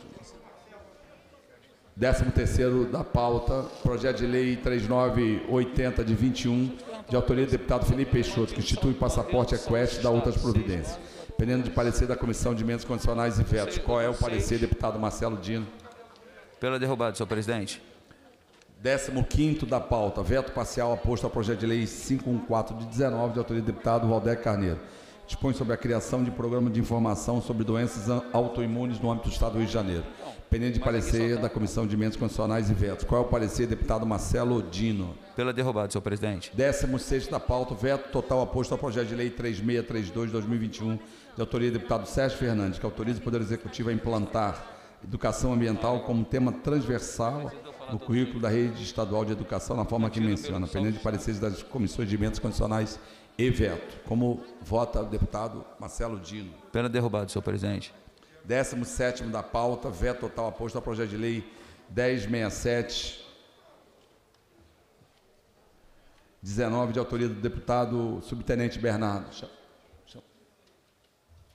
Que dispõe sobre a obrigatoriedade da manutenção de brigada de incêndio dos estabelecimentos públicos e privados da guarda de veículos automotores motocicletas apreendidos por descumprimentos da legislação de trânsito e da outras providências, pendente de pareceres da Comissão de Emendas Condicionais e Vetos. Como vota, qual é o parecer, deputado Marcelo Dino?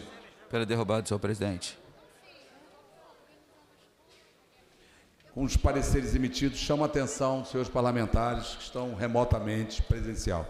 Estamos rejeitando os vetos dos projetos de leis que constam na pauta do dia 23, hoje, terceiro da pauta, quarto da pauta, quinta, oitavo, décimo, décimo segundo, décimo terceiro, décimo quinto, décimo sexto, décimo sétimo, conforme o anunciado, já acolhido os pareceres. Então vamos votar em bloco pela rejeição aos vetos desses projetos que acabei de contar com parecer pela, Pela derrubada, derrubada. dos vetos. Senhores que aprovam, permaneçam como estão, rejeitados os vetos. Agora vamos votar os Destaques. mantidos com destaque. Com destaque. São os, os, o sexto da pauta, o nono, o onze e décimo quarto. Presidente, só queria registrar meu voto contrário a. Quer dizer, eu voto pela manutenção do veto do último projeto, tá? Do qual? Do décimo sétimo? sétimo. Ok, então um novo vota no veto total oposto ao projeto de lei 1067 de 19 pela manutenção, sabendo nós que já derrubamos o veto.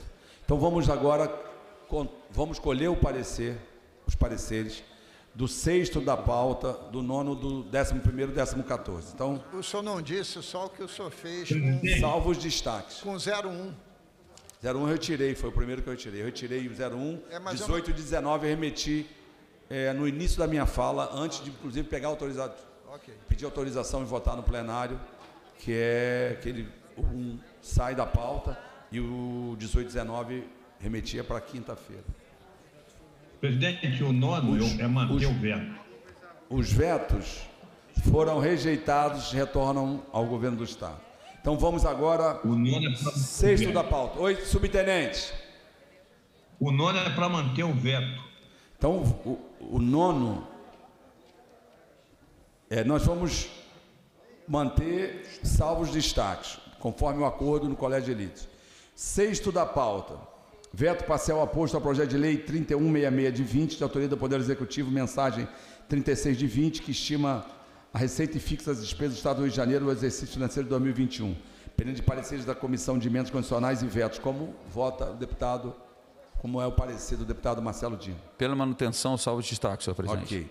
Vamos agora ao nono da pauta. Veto parcial aposto ao projeto de lei 265, de 15, de autoria do deputado Carlos Mink, que modifica a lei 5.588, de 7 de dezembro de 2009, que determina a implantação de sistema de vídeo e áudio nas viaturas que menciona, pendente de pareceres das comissões de emendas condicionais e vetos. Para emitir parecer, deputado Marcelo Dino, como é o parecer? Pela manutenção, salvo os destaques. Décimo primeiro, veto parcial oposto ao projeto de lei 411-15, de autoria dos deputados Tânia Rodrigues, Valdé Carneiro, Zeidan, Samuel Malafaia, Tia Ju, Bebeto, Márcio Canela, Marta Rocha, Marcos Milha, Carlos Mink, Flávio Serafim, Leomar Coelho, Luiz Paulo, enfermeira Regiane e Lucinha, que institui a política estadual para a população em situação de rua no Estado do Rio de Janeiro, pendente de parecer da Comissão de Emendas Condicionais e Vetos. Como é o parecer, deputado Marcelo Dino? Pela, pela manutenção, salvo os destaques. Vamos agora ao 11. décimo quarto. Décimo quarto, aliás. Um, dois, três, quatro. É isso, salvo destaque. É, é manutenção, salvo destaque, porque a gente vai destacar todo o texto, vamos deixar mantido ao veto só o que acordou. Décimo quarto, veto total aposto A projeto de lei 3 3163A de 14, autoria do deputado Carlos Mink, que autoriza o Poder Executivo a criar a carreira de guarda-parque e da outras providências, pendente de pareceres da Comissão de Emendas Condicionais e Vetos. Qual é o parecer, deputado Márcio Marcelo. Dino? Pela manutenção, salvo destaques. Então nós vamos manter o veto do sexto, nono, décimo primeiro, décimo quarto da pauta, salvo os destaques. Senhores que aprovam permaneçam como estão, mantidos os vetos dos respectivos projetos que já acabou, acabamos de colher o parecer do deputado Marcelo Dino, salvo os destaques. Há sobre a mesa requerimento de destaque ao veto aposto ao artigo 19, 20, 21, 23, 24, 25 e 26 do projeto de lei 3166 de 20. Senhores que aprovam, permaneçam como estão. Aprovado o destaque. Em votação, a matéria destacada. Senhores que aprovam, permaneçam como estão. Aprovado, vai retornar ao governador. A mesa requerimento de destaque ao veto aposto ao artigo 2 do projeto de lei 265 de 2015, ao parágrafo 2 do artigo 2 da lei 5588 de 9, com a seguinte redação. Artigo 2 Modifica o artigo 2 da lei 558 8 de 2009, que passa a ter a seguinte redação, artigo 2 parágrafo 2 Os registros de áudio e vídeo produzidos pelas câmaras deverão ser disponibilizados aos setores competentes no ato do registro de ocorrência, para que seja realizado o espelho de prova e atestado a invia- inviolabilidade da cadeia de custódia digital por agente responsável. Senhores que aprovam, mas como estão aprovados. Em votação, matéria destacada. Senhores que aprovam, mas como estão aprovados, vai ao governador. Requerimento de destaque. Requer destaque ao veto aposto ao caput do artigo 7 do projeto de lei 411 de 2015. Senhores que aprovam, mas como estão aprovado o destaque. Em votação, matéria destacada. Senhores que aprovam, mas como estão aprovado, retorna ao governador. Há sobre a mesa requerimento de destaque. Destaca o veto apo- aposto ao projeto aos artigos 1 do caput, incisos 5 e 15 do projeto de lei 3163 de 14. Senhores que aprovam, mas como estão aprovados. Em votação, matéria destacada. Senhores que aprovam, como estão aprovados, vai ao governador. Agora, eu vou conceder os, o, o- primeiro a declaração de voto. Deputada Mônica, ela fez um pela ordem, mas tinha declaração. Tem declaração de voto também do deputado Flávio. E depois os pelas, o, os, os pelas, Pela- pela ordem. Eu, eu, ô Flávio, eu vou precisar pegar um voo às 18 horas. Então, eu vou deixar a Vossa Excelência, Vossa Excelência já vai, vai fazer, mas é a Mônica que vai usar da palavra, eu não, infelizmente, eu ainda tem gente para atender lá no, no gabinete. Eu já sei que Vossa Excelência quer que traz para pauta o Relatório da CPI do o relatório final da CPI do, do Rio Previdência. Pro- Prometo, Vossa Excelência, que até o final dos trabalhos, no mês de dezembro, eu trarei a pauta, tá bom? Com a palavra, a deputada Obrigada, presidente. Mônica, e convido a deputada Tia Ju. Presidente, eu vou aproveitar, inclusive, também para Deputada- solicitar a inclusão de pauta dos dois prêmios Dandaras que foram aprovados já desde junho, presidente. Mas Deputada eu Renata, pedi Assume aqui, pilota, por a favor. declaração de voto no projeto da deputada Renata Souza é, e fazer uma menção à CPI Não, da não. intolerância que Republica amanhã apura os que crimes. De intolerância, porque intolerância religiosa e racismo religioso é crime, então eu quero frisar bem isso aqui, presidida pela deputada Marta Rocha, que está aqui ao meu lado, aliás, aqui ao lado, e é, que tem a relatoria do deputado Atila Nunes, vice-presidida pela deputada Tia Ju, que se encontra aqui. Então, é importante lembrar dos esforços dessa casa para mitigar esse mal que é resultado do racismo estrutural, que cimenta as relações em sociedade. Então, reforçar é, a parabenização pela iniciativa da deputada em diálogo com as religiões, com as lideranças, né, muitas delas que encontraram nessa casa um canal importante. Está aqui ao meu lado o deputado Flávio Serafini, que também é, é, um aliado nessa luta, lembrando do Liberte Nosso Sagrado, ele sempre faz menção a isso. Então, reverenciar aqui a luta né, das religiões de matriz africana, das suas lideranças, O observatório nomeado Mãe Beata de Emanjá é uma simbologia muito forte, né? haja vista a história dessa mulher inspiradora, foi baluarte de resistência dos povos de terreiro aqui no estado do Rio de Janeiro. Então, é fundamental a constituição desse observatório, e nós vimos isso no âmbito da CPI da intolerância religiosa, o quanto os depoimentos, as ações que vêm sendo implementadas pela universidade, com levantamento de dados, com é, é, uma série de ações no âmbito da produção de conhecimento, para que a gente possa fundamentar ainda mais as ações legislativas. Então, é uma iniciativa, mais uma, que essa casa é, apresenta e se soma à resistência e à luta dessa, desse setor tão aviltado, tão vilipendiado nesses últimos tempos, nos últimos é, períodos, nos últimos 20 anos, com o agravamento desse processo, inclusive com risco né, de morte por parte dos praticantes. Então é importante monitorar, garantir o acesso ao direito né, da liberdade de culto no nosso Estado, da liberdade das profissões de fé e, principalmente, lembrar que esse é um direito constitucional. Então, a instituição de um observatório é fundamental. Também celebrar aqui né, o projeto apresentado pela deputada Tia Ju.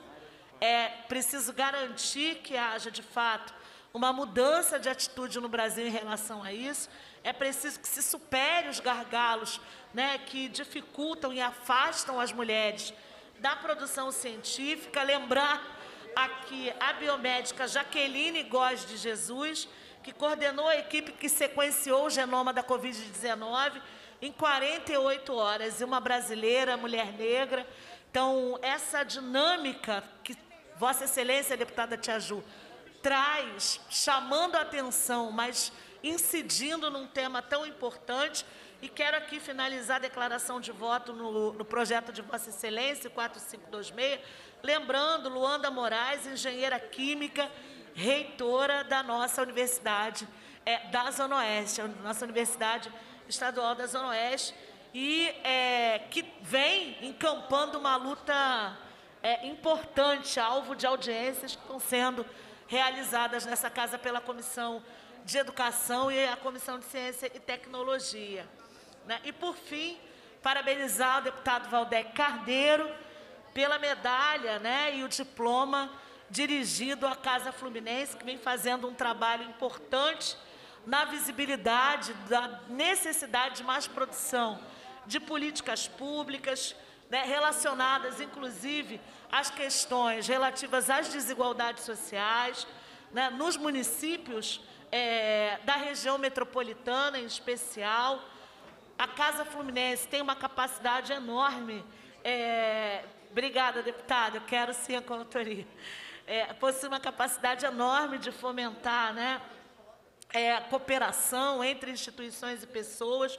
Então, reconhecer o trabalho da Casa Fluminense, que cria uma agenda para que os parlamentos, né, tanto é, essa casa, o Parlamento Fluminense, mas que os parlamentos, no âmbito do Estado do Rio de Janeiro, as prefeituras, né, que a gente possa garantir, de fato, uma agenda que efetive a política pública, que garanta a necessidade dos territórios, que promova a autonomia né, nos territórios, para que haja também uma agenda importante, para que haja uma construção de política pública que incida adequadamente, é, evitando desperdício de recursos. Né? A Casa Fluminense é um, um, uma importante instituição e uma fundamental ferramenta para fortalecer o controle social, né, garantindo mecanismos mais eficazes também do controle da gestão pública, tendo em vista né, que a gente precisa garantir que o cidadão e a cidadã comum acompanhe também as ações dos executivos, do próprio parlamento, e a Casa Fluminense tem sido um instrumento importante é, nesse sentido e participação é a tônica, né? A gente tem visto quanto também eles estão presentes aqui é, no parlamento, sempre conversando, indo aos gabinetes, e tentando, de fato, garantir uma agenda para o Estado do Rio de Janeiro que possa possibilitar uma transformação real. Então, celebrar essa casa hoje é, com as suas aprovações tão importantes e que dignificam ainda mais o trabalho legislativo dessa casa. Obrigada, presidenta. É, antes do, próximo orador, é, ressaltar e chamar a atenção aí o pessoal da mesa, assessoria da mesa, que a deputada Mônica Francisco também é coautora é, da proposição da Casa Fluminense. É, por gentileza, consignar aí a coautoria da deputada Mônica Francisco, né, e ela está apontando para mim também. A deputada, é, o deputado Flávio Serafim, logo em seguida a deputada Marta Rocha e depois o deputado Felipe Pobel. Tia Ju, em primeiro lugar, eu quero. Tia Ju, boa tarde. Deputada Tia Ju, em primeiro lugar, eu quero declarar meu voto favorável ao projeto de resolução 793, que trouxe aqui para essa casa apreciar o relatório da Comissão Parlamentar de Inquérito voltada para analisar a queda na arrecadação com royalties e participações especiais do petróleo. Hoje, o setor petrolífero é o principal setor econômico do Estado do Rio de Janeiro e como não há pagamento de ICMS na origem da produção do petróleo, a arrecadação com royalties e participações é uma fonte tributária fundamental para garantir o equilíbrio das contas públicas do Estado do Rio de Janeiro. Então, passar um pente fino, como essa comissão fez, mostrando desvios de recursos, erros em cálculos, e já conseguindo produzir um efeito de reparação, de correção e elevação da arrecadação com royalties e participações, é fundamental. A gente, no Estado do Rio de Janeiro, tem alguns gargalos que precisa enfrentar, e um deles, sem dúvida, é a questão da arrecadação com royalties e participações. Um outro gargalo, e aí eu aproveito que estou aqui declarando voto nesse importante trabalho de CPI, é a questão do Rio Previdência, que, aliás, também está diretamente ligada à questão dos royalties, porque a principal fonte de financiamento da Previdência no Estado do Rio de Janeiro é, além da contribuição dos servidores e do Estado como patrão, é a destinação de recursos de royalties e participações especiais. A gente fez uma CPI, que eu fui presidente, a deputada Marta Rocha fez parte, o deputado Valdec Carneiro foi relator, o deputado Alexandre foi vice-presidente, a deputada Renata, o deputado Eliomar fizeram parte, onde a gente mostrou, tia Ju, como o processo de desequilíbrio do Rio Previdência foi um processo produzido por vários erros, por alguns desvios, e que esteve com muita centralidade naquela crise que o Rio de Janeiro enfrentou nos anos 2015, 2016, 2017, e ainda hoje é central para a gente entender a crise que o Rio de Janeiro passa. Vossa Excelência, Tia Ju, sabe quanto o Estado do Rio de Janeiro vai pagar esse ano pelo serviço da Operação Delaware, uma operação que foi feita de forma ilegal pelo Rio Previdência? 4 bilhões e meio de reais esse ano de 2021. Sabe quanto foi pago ano passado, Tia Ju? 4 bilhões. Sabe quanto vai ser pago de novo no ano que vem? 4 bilhões. Eu desafio qualquer deputado dessa casa dizer qual outra operação financeira ou qualquer outra negociação que o Estado do Rio de Janeiro tenha feito que tenha custado mais caro aos cofres públicos do que essa operação Delaware, que é central para entender os desequilíbrios que não só o Rio Previdência enfrenta, mas que as finanças públicas do Estado enfrentam, porque 4 bilhões por ano não é só um desequilíbrio para o Rio Previdência, é um desequilíbrio para o caixa do Estado. Então, é muito grave, e o nosso relatório aponta isso, faz um histórico do Rio Previdência, dá subsídios para que o conjunto dos deputados possa, inclusive, entender melhor como funciona o sistema previdenciário do Estado e defendê-lo, além de, obviamente, responsabilizar os gestores públicos que primeiro retiraram dinheiro do Rio Previdência e depois estruturaram uma operação que é uma operação ilegal e que paga hoje uma das taxas de juros mais altas do mundo, que é essa operação Delaware. Então, é uma omissão dessa casa, seis meses depois do relatório estar aprovado pela Comissão Parlamentar de Inquérito, não votar esse relatório. É fundamental que ele venha ao plenário. Se houver discordância, a gente debate. emenda o relatório tenta acertar, ou se quiserem reprovar, reprovem. Mas o que a gente não pode é não fazer o debate de um relatório que mete um dedo na ferida de uma questão que é central para entender as finanças públicas do Estado e que foi uma das ferramentas usadas para financiar vários esquemas que aconteceram no governo Cabral. O dinheiro do Rio Previdência impulsionou uma série de ações fraudulentas que aconteceram no, Rio, no, no governo Cabral e é inaceitável que a gente não enfrente esse debate aqui no plenário e faça a votação do relatório. Acho que isso é fundamental para a gente, inclusive, poder tomar medidas para parar essa sangria. A gente não pode tomar medidas legais, não pode pedir para a Procuradoria entrar com uma ação enquanto a gente não tiver a votação do relatório. E aí eu repito os, as cifras. 4 bilhões no ano passado, 4 bilhões e meio esse ano, mais 4 bilhões e meio no ano que vem, e vamos seguir até, até 2028, pagando um total que vai chegar a 30 bilhões. Se eu não me engano, esse também é o valor que a CPI do petróleo mostrou de receitas que o Rio de Janeiro estaria a receber a menos. Ou seja, só nessas duas CPIs, nós estamos falando de 60 bilhões de reais. São cifras estruturantes. É quase o orçamento de um ano do Estado do Rio de Janeiro. Que bom, deputado Márcio Pacheco, deputado Luiz Paulo, deputado Valdec, deputada Marta Rocha e todos os deputados e deputadas que fizeram parte dessa CPI sobre os royalties do petróleo. Parabéns, é um trabalho fundamental para o Estado do Rio de Janeiro. E eu peço que o relatório da CPI do Rio Previdência também venha ao plenário, porque ele também é muito importante para o nosso Estado. Mais uma vez eu falo, uma operação que vai custar mais de 30 bilhões ao Estado do Rio de Janeiro, de forma absolutamente ilegal, desproporcional e lesiva aos nossos cofres públicos e à população fluminense. E, por fim, Tia Ju, eu quero declarar também meu voto favorável ao Observatório né, para os Crimes de Intolerância Religiosa, é, Mãe Beata de Amanjá. É, conheci Mãe Beata.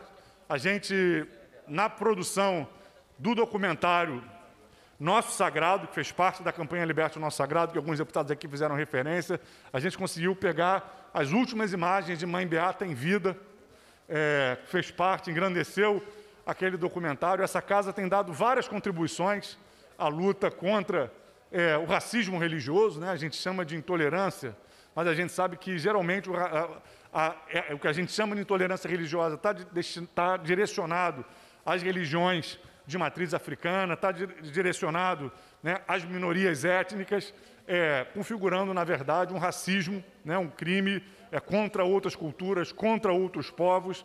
Aí a gente tem um observatório fundamental. No ano passado, o nosso mandato chegou a produzir um mapa apontando, né, no período recente, é, várias ações que aconteceram de intolerância religiosa, com invasões a terreiro, com invasões à casa de santo, agressão, proibição de é, expressão da fé em várias localidades, e acho que essa casa dá mais uma contribuição, assim como a CPI da intolerância religiosa, presidida pelo deputado Marta Rocha, está sendo mais uma contribuição dessas estruturantes, que fazem um retrato é, da questão da intolerância religiosa, que pensam caminhos para preveni-la, caminhos para enfrentá-la. É, então, eu acho que é, são iniciativas que mostram como nessa casa a gente tem conseguido avançar muito no sentido de defender uma sociedade com mais pluralidade, com mais diversidade, com convívio né, é, interreligioso cada vez mais saudável e respeitável. Acho que esse é o nosso objetivo e acho que essas contribuições todas se somam para caminhar nesse sentido. Obrigada, deputada. Deputada Marta Rocha, logo em seguida, deputado Felipe Pobel e deputado Anderson Moraes. A Pela deputada ordem. Renata pediu uma pela ordem. Sim, Nós estamos dando nas declarações de voto, logo em seguida, pela ordem. O- Perfeito, obrigada. O, Vossa Excelência será o primeiro pela ordem e a deputada Renata. Deputada Marta Rocha. Presidente, boa tarde mais uma vez a todas e todos que estão em plenário, aqueles que nos assistem pela TV Alerj. O nosso primeiro cumprimento vai dirigido aqui ao deputado Luiz Paulo, para dizer que foi uma alegria estar ao seu lado na CPI que apurou a questão da arrecadação do petróleo e gás, dizer que vamos ter saudade das manhãs de segunda-feira em que todos já sabíamos que estaríamos ali eh, debatendo esse importante tema que garante arrecadação, portanto, garante receita para a execução das políticas públicas que possam enfrentar a desigualdade nesse Estado. E quero dizer que uma ação da CPI, que foi chamar a Agência Nacional de Petróleo, chamar a Secretaria de Fazenda, reestruturar a área de fiscalização da Secretaria de Fazenda, estabelecer um termo de cooperação técnica com a ANP. Isso tudo capitaneado por essa casa, por si só, já permitiu um aumento da arrecadação e, sobretudo, como foi colocado aqui, né, evitar o que vem de forma rotineira acontecendo no Estado do Rio de Janeiro, é o Estado deixar de arrecadar e os órgãos da Fazenda, da direção do governo, estarem né, sem se movimentar para enfrentar essa questão, sobretudo no Estado que depende de forma visceral da questão da arrecadação dos royalties do petróleo e do, do gás. A segunda questão é elogiar o deputado Valdec Carneiro pela sua indicação da medalha Tiradentes para a Casa Fluminense. Quero fazer aqui um destaque a um jovem, a um brilhante jovem, defensor da igualdade, atento às questões, entre outras coisas, da mobilidade social, da mobilidade urbana. Então, quero aqui deixar meu abraço fraterno ao Henrique Silveira, que sempre nos traz temas importantes como, por exemplo, a questão do transporte urbano, e então ter essa referência dentro da Casa Fluminense na figura de Henrique Silveira era algo que eu não gostaria deixar, de deixar de registrar. Dizer né, que hoje a decisão da criação do observatório das questões do racismo religioso, e essa casa vem mostrando em muitas ações, né, é, o seu papel de proteção, olhando a intolerância religiosa, lutando contra o racismo religioso, e uma das maneiras de a gente conseguir pensar a política pública é ter um bom diagnóstico, ter uma boa análise, uma coleta de dados, o monitoramento desses dados e a formulação da política, e sem dúvida nenhuma, é, essa criação desse observatório, que também já está previsto no nosso relatório, será muito importante. Dizer para Vossa Excelência, Tia Ju, que seus projetos sempre nos dão muita alegria. E quando Vossa Excelência tem esse cuidado de pensar nas mulheres na ciência, sem dúvida nenhuma, o recado que essa casa dá é que não há uma área de atuação, um papel de relevância que não seja exercido por uma mulher. Então, que bom que Vossa Excelência, ao trazer esse projeto, faz esse destaque. Mas eu quero me despedir e deixei por último, e por nesse sentido quero pedir muita atenção, eu espero que a liderança do governo esteja me ouvindo. Eu quero chamar a atenção dos deputados que integram a Comissão de Saúde e que integraram ao nosso lado, inclusive Vossa Excelência, deputada Tia Ju, a Comissão Covid, que lamentavelmente há uma luz no fim do túnel que indica que mais uma vez possamos estar diante de escolhas equivocadas e da malversação do dinheiro público. É, eu tive a oportunidade de ter acesso a algumas informações relativas a uma licitação feita pela Secretaria de Saúde. Esse tema já é hoje matéria de um blog, o blog do Berta, que é o mesmo blog que hoje né, é, escreve no, numa rede de jornalismo e, na verdade, a gente já está tomando ciência que tanto o Ministério da Saúde quanto a Secretaria Estadual de Saúde firmaram um contrato para fornecimento de remédio material hospitalar. E esse material foi feito, né, essa licitação foi é, houve dispensa da licitação e quem ganha essa dispensa de licitação é uma empresa que até junho de 2019, situada no município de Guapimirim, era uma pequena gráfica. E hoje essa pequena gráfica se transforma numa empresa né, que, se, que passa agora a se chamar World Farms e que essa antiga gráfica hoje está vendendo para o Estado do Rio de Janeiro e para o Ministério da Saúde medicamentos e material hospitalar. Só para se ter uma ideia, é, o, o Ministério da Saúde, através da sua unidade, que é o Hospital Geral de Bom Sucesso, Hospital Federal de Bom Sucesso, ele fez um contrato sem licitação no valor de 54 milhões. No caso do Estado do Rio de Janeiro, a- o Estado do Rio de Janeiro também fez três contratos num total de 53 milhões. Esses contratos eram para fornecimento de medicamentos utilizados na intubação de pacientes com Covid. O prazo de entrega se extinguia no início do mês e ele foi entregue apenas 10% de um total de 1 milhão e 800 mil ampolas de remédios utilizados e necessários para o processo de intubação.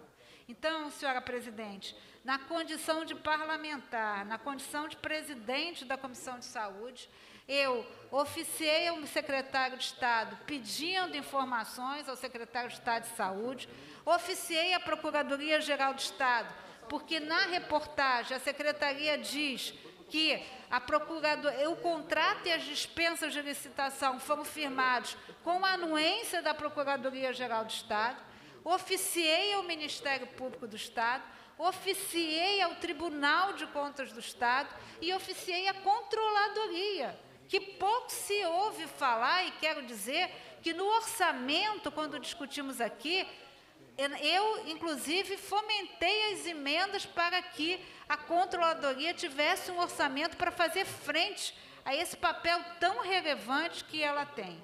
E não tenho dúvida que, em sendo verdadeiras as informações trazidas na matéria, nós estamos diante de casos de improbidade administrativa, estamos diante de casos de ocorrência de fraude licitatória, estamos diante de casos de crime de corrupção. Por isso, também oficiei ao Ministério Público Federal e ao Tribunal de Contas da União, embora o fato se refira ao Hospital Geral de Bom Sucesso, entendemos que devemos também pedir esse olhar atento. Eu quero, senhora presidente, fazer aqui essa manifestação e quero externar aqui a minha surpresa e a minha preocupação. E eu rogo, sabe, deputada Lucinha, a senhora que esteve do nosso lado o tempo inteiro na comissão Covid, como Tia Ju, deputado Gasparo, deputada Mônica Francisco, entre outros, eu espero que esta matéria não, não, não retrate, né, que a gente não tenha essa nova decepção. Agora, nos causa muito espanto que uma pequena gráfica instalada no município de Guapimirim em 2019 ganhe uma licitação de tamanha envergadura para a aquisição de um medicamento de vital importância no enfrentamento da Covid e um fato já está constatado. Da- do, do total que deveria ser entregue deste medicamento, foi entregue apenas 10% desse medicamento. E eu espero verdadeiramente que os órgãos instados por esse parlamento, na, na presença do nosso mandato, imediatamente respondam e apresentem seus esclarecimentos, independente das ações a serem adotadas pelo Ministério Público, pela Controladoria e pelo Tribunal de Contas do Estado, por considerando a relevância e a gravidade dos fatos que são apontados nessa matéria jornalística. Então, obrigada, senhora presidente, pela oportunidade de externar aqui né, a nossa preocupação, a nossa contrariedade e aguardando, tanto da PGE, como da Secretaria de Saúde, como da Controladoria, é, aguardando os esclarecimentos urgentes que o caso requer. Muito obrigada. Eu queria eh, aproveitar a oportunidade, deputada Marta Rocha, de me colocar à disposição no sentido de estarmos juntos, como ficamos na, na época da comissão da Covid, no, no sentido de apurar essas, essas irregularidades que estão lesando os cofres públicos. Né?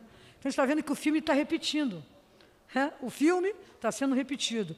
Então, eu vejo que depois que Vossa Excelência receber todas as informações, vamos solicitar, Vossa Excelência foi presidente da, da nossa Comissão de Saúde, para tratar da questão do Covid, principalmente, de convidar a Secretaria de Saúde, o, o- o ordenador de despesa do Estado, para uma audiência pública aqui na casa, para que a gente possa debater e esclarecer. Porque, na verdade, o que eu estou vendo é o filme repetido, Marta Rocha. Infelizmente. Vamos torcer para que eles possam trazer esclarecimentos mais é, otimistas do que, que a matéria trouxe. Eu havia anunciado o deputado Anderson Moraes para declaração de voto, mas é pela ordem. Então, o deputado Anderson Moraes é pela ordem, então vem primeiro o deputado Pobel, depois a deputada Renata.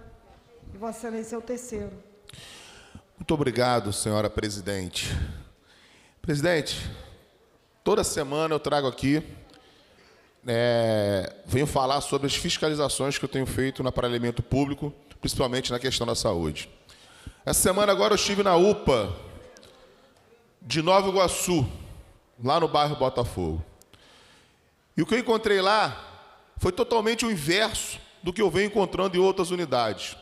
Cheguei numa UPA bem estruturada, todos os aparelhos funcionando, os médicos trabalhando, mas uma coisa me chamou muita atenção. E naquele momento eu liguei para o secretário estadual de saúde, não obtive sucesso, mas hoje eu tive o retorno do governador. Os médicos com três meses de salários atrasados. Três meses de salários atrasados. Da mesma forma que eu venho aqui denunciar médico dorminhoco, médico que falta, médico que assina lá o plantão e não está na unidade, a falta de medicamento, a falta. Eu também tenho que vir aqui cobrar né, uma atitude imediata em favor desses, desses profissionais. São profissionais que estão ali para salvar vidas, profissionais estão ali trabalhando, trabalhando, salvando vidas, e sem ter o mínimo, que é a sua dignidade, que é o seu salário. Sem contar que muitos ali vivem só daquele plantão. Vivem só daquele plantão. E é uma falta de respeito. Eu não quero saber qual OS é, é- a culpada. Não quero saber a OS culpada. Se foi a OS que saiu, a OS que entrou. O que não pode é o médico, os funcionários da área da saúde ficarem sem os seus salários. Isso é uma covardia. Estarei encaminhando o ofício pedindo informações junto à Secretaria Estadual de Saúde e fazer aqui uma reclamação pra, junto ao secretário estadual de saúde, que quando o deputado Felipe Pobel estiver te ligando de madrugada, né, ou no início da noite, não é só para cobrar, não. O senhor está aí, o senhor está em cargo de confiança. Cargo de confiança. Diferente de nós que estamos aqui, parlamentares eleitos pelo povo. O senhor está no cargo de confiança. E é uma falta de respeito. Você, como está secretário de saúde, estadual de saúde, não atender um parlamentar enquanto está numa incursão, enquanto está numa fiscalização. Então fica aqui o meu repúdio ao secretário estadual de saúde por não nos atender e não retornar a ligação, né? até porque é uma briga plausível, porque trata-se de salários dos profissionais da saúde, presidente. E quero aqui agradecer ao governador, que de pronto já entrou em contato comigo e dizer ele que ordenou né, a manutenção dessa situação que vem acontecendo. Então eu queria me colocar aqui à disposição de todos os profissionais da saúde. Quando eu for parlamentar, eu vou estar aqui cobrando, denunciando, fiscalizando. Muito obrigado, presidente. Deputada Renata Souza. Logo em seguida, Vossa Excelência, deputado Anderson Moraes. Sei que Vossa Excelência está aflito e ansioso para falar, mas a deputada Renata está na vossa frente. Senhora presidenta, é com, com um misto de tristeza, mas também de atenção que faço aqui um apelo e também uma denúncia a essa Casa de Leis, à política pública de segurança genocida que temos no estado do Rio de Janeiro. Essa política pública genocida vitimou o sargento Leandro da Silva em São Gonçalo, assim como vitimou oito pessoas que tiveram seus corpos jogados num mangue em São Gonçalo, na favela da Palmeirinha. Assim como a gente tem um processo de naturalização das mortes ocorridas pelo braço do Estado no Rio de Janeiro. É seríssimo o que está acontecendo no Estado do Rio de Janeiro. É mais uma chacina que vivenciamos sem termos a ação direta e contundente em uma fala responsável do governador do Estado do Rio de Janeiro, senhor governador Cláudio Castro. Então, eu quero deixar aqui o meu lamento diante de uma política pública de segurança que não avança, que só vitima policiais e população do estado do Rio de Janeiro. Isso é muito sério. Não temos pena de morte no, no Brasil, mas ela é aplicada todos os dias no chão da favela e da periferia e como vemos na favela da Palmeirinha, em São Gonçalo, deixou aí oito mortos dentro daquele lamaçal, onde pessoas da comunidade tiveram que retirar os corpos, porque lá o Estado não entrou com bombeiros, não entrou com a perícia para poder investigar de que maneira e de que forma aquelas mortes se deram. Então, o que a gente quer aqui, senhora presidenta, é transparência sobre a política pública de segurança aplicada no estado do Rio de Janeiro. Por isso, fiz um, um, uma representação no Ministério Público Estadual para que possa investigar de maneira isenta o que aconteceu em São Gonçalo. Não dá para essa casa fechar os olhos diante do, da chacina e do processo genocida que está embutido na política pública de segurança e não há vencedores. Morrerão tanto policiais que vão ser colocados numa linha de frente de uma política pública que não assegura nem o direito da população de viver e muito menos dos policiais. E aqui, senhora presidenta, quero ler uma carta da Federação de Favelas do Estado do Rio de Janeiro. Uma federação que esteve aqui nessa casa, inclusive conversou com o presidente da casa, André Siciliano, que encaminhou imediatamente uma reunião com é, representantes do governo do Estado. O próprio governador não recebeu a FAFERJ, mas eu quero aqui deixar registrado a carta escrita em nota, em forma de nota, pela Federação de Favelas do Estado do Rio de Janeiro. O título é De chacina em chacina, a violência no Rio só aumenta. Nota da Federação, Federação de Favelas do Estado do Rio de Janeiro, 23 de novembro de 2021. A FAFERJ, fundada em 1963, vem a público lamentar as mortes na região da Palmeira, Complexo do Salgueiro, em São Gonçalo. Desde a morte do sargento Leandro da Silva, moradores da comunidade ficaram apreensivos, com medo de uma operação policial de retaliação que, apesar de ilegal, configura a forma de agir cotidiana das polícias do Estado. De lá para cá, o final de semana da consciência negra teve o comércio fechado e intensos confrontos em toda a comunidade. Questionamos a versão do porta-voz da Polícia Militar, uma vez que uma operação em que morre pelo menos 10 pessoas e uma senhora de 70 anos é baleada jamais pode ser considerada como bem-sucedida. O modelo de segurança pública do governo do Estado sequer conseguiu garantir a vida de seu agente, o sargento Leandro da Silva. Acompanhamos, junto à nossa regional em São Gonçalo e a Associação de Moradores, desde sábado, 20 do 11, as ações policiais na comunidade. Das ilegalidades que pudemos constatar durante a diligência conjunta entre a Defensoria Pública, comissões da Assembleia Legislativa do Rio de Janeiro, OAB e a FAFERJ, na tarde desta segunda-feira, 22 do 11, destacamos casas e comércios invadidos pela polícia, conforme fotos e relatos dos próprios moradores. Não se sustenta a versão da PM de que as mortes ocorreram em confronto. Diversos corpos identificados eram de moradores da comunidade que não tinham qualquer antecedente criminal ou envolvimento com atividades ilícitas.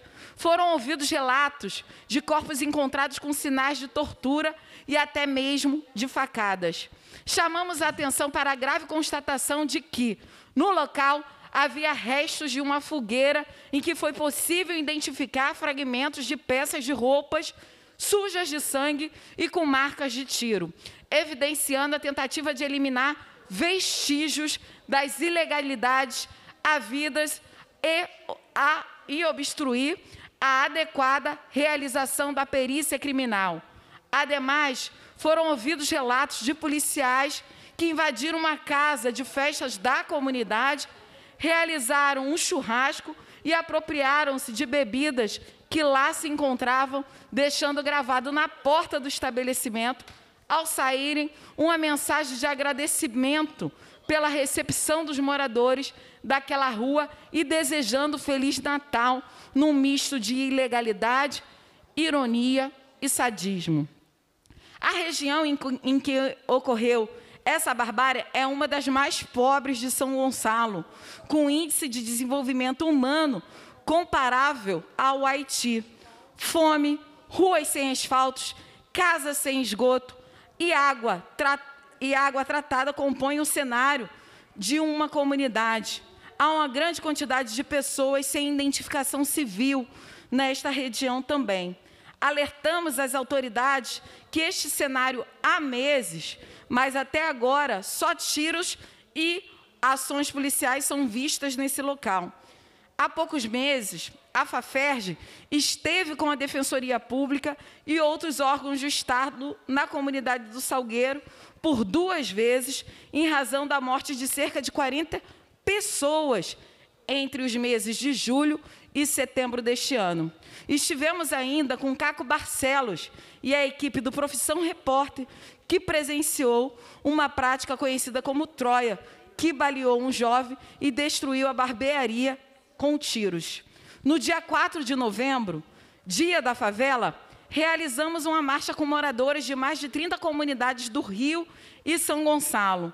Entregamos um documento ao presidente da Alerj, deputado André Siciliano, com a carta das favelas, que imediatamente se comprometeu conosco e mediou uma reunião com o governo do Estado.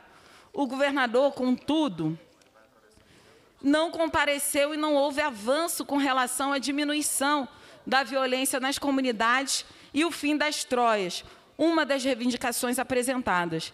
Segundo dados do Fogo Cruzado, 43 destas chacinas foram resultados de operações policiais. Em São Gonçalo, houve 10 chacinas só este ano, todas cometidas durante operações policiais. A FAFERJ e líderes, líderes comunitários atuaram e solicitaram apoio do poder público em todas elas, mas apenas a Defensoria Pública do Estado do Rio de Janeiro e as comissões da Assembleia Legislativa do Rio de Janeiro estiveram presentes em nossas ações. Por fim, a FAFERJ defende o cumprimento da lei nas ações policiais. Não existe pena de morte no país. Casas não podem ser invadidas com chave mestras. Não podemos admitir tortura de quem quer que seja. Pautamos audiência pública com órgãos do Estado urgentemente. Precisamos dialogar com o governador, Ministério Público, Defensoria Pública, para adoção de medidas mais efetivas para o cumprimento da decisão da DPF 635 do Supremo Tribunal Federal, que garantiu critérios para ações policiais em favelas e periferias durante o período da pandemia. Investigação célere, imparcial e diligente das mortes na Palmeira, Complexo do Salgueiro, pelo Ministério Público e demais órgãos responsáveis. Celeridade na implantação de câmeras nos uniformes e viaturas da Polícia Militar. Investimento em saneamento básico e projetos sociais na comunidade. É assim que termina, senhora presidenta, a nota da Federação de Favelas do Estado do Rio de Janeiro, datado com o dia de hoje, 23 de novembro de 2021. Quero aqui, senhora presidenta, ao relatar e ler essa nota apresentada pela Federação de Favelas do Rio de Janeiro, dizer que estamos à disposição do diálogo, do diálogo qualitativo, de defesa de uma política pública de segurança que não, não coloque nem a vida dos policiais em risco, mas também nem a vida de qualquer pessoa que seja. Que a gente possa ter esse grito ouvido pelo governador do Estado, porque não tem vitoriosos nessa guerra. A população é sempre que vai padecer. Então, deixo aqui a minha solidariedade à família do sargento Leandro da Silva, assim como a minha solidariedade a todos aqueles e aquelas que perderam seus entes queridos na, na chacina que ocorreu nesse fim de semana em São Gonçalo. Muito obrigada, senhora presidenta. Obrigada, deputado Anderson Moraes. A sua questão de ordem tão esperada. Com a palavra, Vossa Excelência. Boa tarde, presidente. Como diz alguns amigos nossos aqui, né? Antes tarde do que, Do que mais, mais tarde. tarde. Do que mais tarde. Boa tarde, presidente. Presidente, é, eu quero aqui hoje colocar a seguinte situação. Eu sou leitor do jornal, do jornal Extra, né? Acompanho muito a, o trabalho da, da, da jornalista Berenice Seara, o qual eu admiro muito o trabalho dela. E hoje eu tive. Só que eu acho que eu nunca li essa reportagem. Com, fiquei tão feliz depois de ter passado o olho na coluna dela. A reportagem de hoje fala: o prejuízo dorme nas garagens. O que, que ela quis dizer aqui na reportagem? É uma reportagem do presidente André Siciliano, que identificou, eh, juntamente alguns empresários eh, do ramo rodoviário, eh, de transportadoras, a necessidade de nós eh, desburocratizarmos aqui no estado do Rio de Janeiro, quando se fala com relação às vistorias do Detran. É, a gente sabe que quem trabalha com transporte, eles não têm somente o Detran para poder prestar, é, levar os seus veículos para fazerem vistoria, mas tem uma série de outros órgãos, como as prefeituras locais, a NTT, que é a Agência Nacional de Transporte Terrestre. Então, assim, e é uma agenda muito positiva, porque diversos estados do nosso país já tratou sobre a matéria. É, São Paulo, Paraná e entre outros estados, hoje você não tem mais a obrigatoriedade de levar os seus veículos para fazer as vistorias. Você trata isso de forma com a autodeclaração do empresário, onde ele diz que o veículo dele está apto para poder rodar e as fiscalizações nas ruas é, elas podem é, de fato constatar se existe ou não as condições de rodar aquele veículo. Lembrando que a partir do momento que a pessoa declara que está bom e uma fiscalização na rua descobre que não está, claro que essa pessoa que fez essa autodeclaração ela deve ser punida sem dúvida nenhuma, mas eu creio que isso é, não vai acontecer. E lembrando também que hoje existe um trabalho diferente no Detran do Estado do Rio de Janeiro. A gente vê uma evolução tecnológica ali dentro do departamento, de verdade. Estão de parabéns os funcionários é, do Detran, mas a gente sabe também que existe aquelas pessoas que se dizem representantes do Detran, que nós sabemos que não são, que não são, que não fazem parte daquele corpo do Detran, mas que vão até as empresas oferecerem é, facilidades, né? mas na verdade com o intuito de gerar aquele negocinho que quando você encosta o indicador no polegar, depois coça.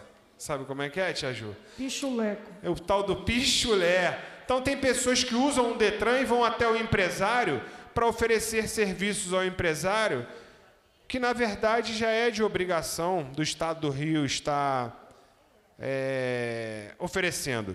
E mediante a isso, eu não sei de que forma a gente vai fazer, mas no dia 1 de outubro de 2019, nós protocolamos, eu e o deputado Renato Zaca, nós protocolamos um projeto de lei nessa casa para nós podermos tratar essa matéria, onde a gente explica tudo, de que forma fazer, é, como o empresário continuará tendo a sua responsabilidade é, com os seus veículos. E assim, eu não sei de que forma nós iremos é, avançar na matéria. Se iremos pautar o projeto de lei, se o governador, por sua vez, dentro das suas atribuições, criará um, decreto onde nós desburocratizaríamos é, os casos, mas a única coisa que eu sei é que o Estado do Rio de Janeiro não pode mais esperar. Tem diversas empresas operando dentro do Estado do Rio de Janeiro, Tia Ju, que não compram mais os seus veículos e emplacam aqui no Rio.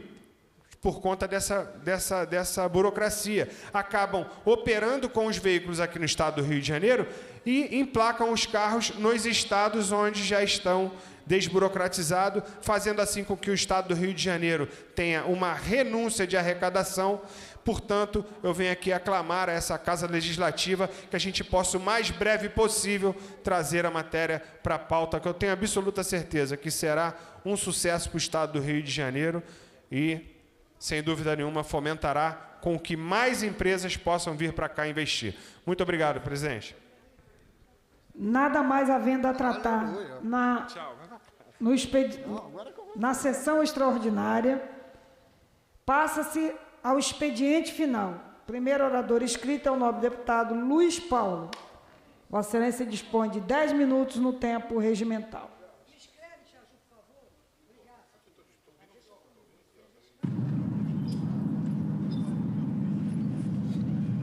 Boa tarde, presidente Tia Ju. Poderia me escrever também no expediente final? Está escrita.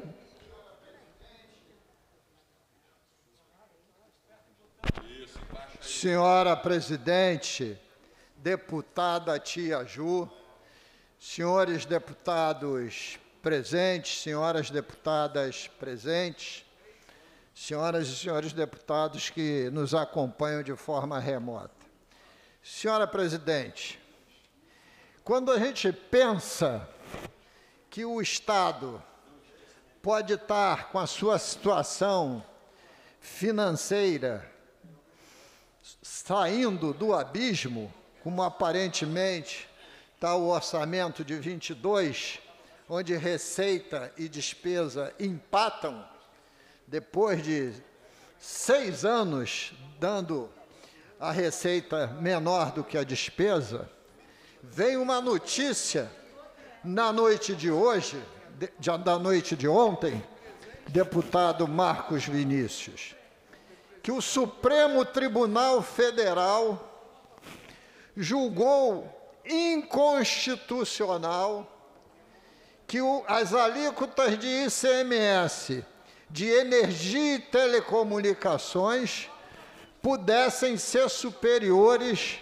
à alíquota média de cada estado. Julgou o caso de Santa Catarina com repercussão geral para outras unidades da federação. Isso ataca todas as unidades federativas brasileiras, principalmente, mas não só, o estado do Rio de Janeiro. E vou exemplificar, senhora presidente.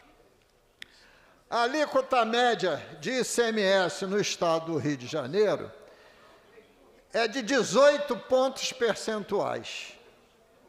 A alíquota média de energia e telecomunicações é superior a 25%. Então, na média, porque na energia, cada faixa de consumo tem uma alíquota distinta. Então, só aí, no mínimo, nós estamos perdendo 7%, né? 25 menos 18. Mas isso corresponde que nós vamos, nesse setor, que só é o setor que mais a gente arrecada, energia e comunicação, nós vamos perder um terço dessa arrecadação aproximadamente. Ainda tem a alíquota do adicional do Fundo Estadual de Combate à Pobreza,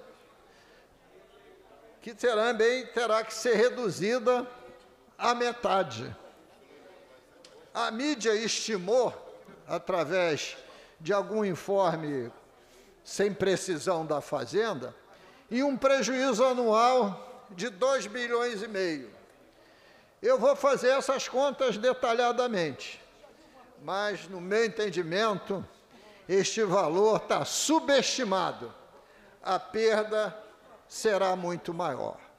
Então, é hora de conclamarmos o governador do Estado a unir força com todos os outros governadores e fazer coletivamente embargos de declaração no Supremo Tribunal Federal. Porque depois de uma decisão publicado o acórdão, cabe os embargos de declaração. Para ver que se pelo menos o, Se- o Supremo modula essa questão. Porque não, senão, senhora presidente Tiaju, consoante o Código Tributário, quem pagou essas alíquotas vai ter direito a pedi-las de volta pelo menos cinco anos atrás. Isso é do Código Tributário Nacional. Então, quando a gente acha que vai respirar, vem uma mão e empurra novamente a cabeça financeira do Estado para debaixo d'água. Mas é hora do governador dizer presente, se mobilizar nacionalmente. É hora dessa casa reagir politicamente, porque não é possível cada vez mais nós termos perdas de, de recursos continuados. Isso aconteceu, essa decisão, ontem à noite. Então, volto a dizer, vamos continuar a conclamar politicamente para que esses embargos declaratórios a nível nacional aconteçam, para que tenha mobilização política, para a gente defender os interesses do nosso Estado, isto é, as políticas públicas de educação, saúde, segurança pública e tantas outras, porque sem recurso não tem essas políticas. Então, aguardei aqui pacientemente para trazer essa conclamação. Eu realmente fiquei bastante perturbado com essa notícia de ontem. Porque se eu chego aqui e digo que a gente pode recuperar nos próximos 20 anos, nos próximos nove anos do regime, fruto do trabalho da CPI, 20 bilhões de reais, eu recebo a notícia, notícia que no- a cada ano, no mínimo, e eu não acredito nesse número, acho que é maior, nós vamos perder 3 bilhões de reais por ano. No final de nove anos, a valor presente, são 27 bilhões de reais. Não é admissível. Esse efeito tem que ser modulado, senhora presidente. Muito obrigado. Obrigada, deputado. Próximo orador inscrito é o nobre deputado Eliomar Coelho, não se encontrando presente. Próximo orador inscrito é o nobre deputado Alexandre Quinoploc, não se encontrando presente. Próximo orador inscrito é o nobre deputado Felipe Pobel. Vossa Excelência dispõe de 10 minutos no tempo regimental.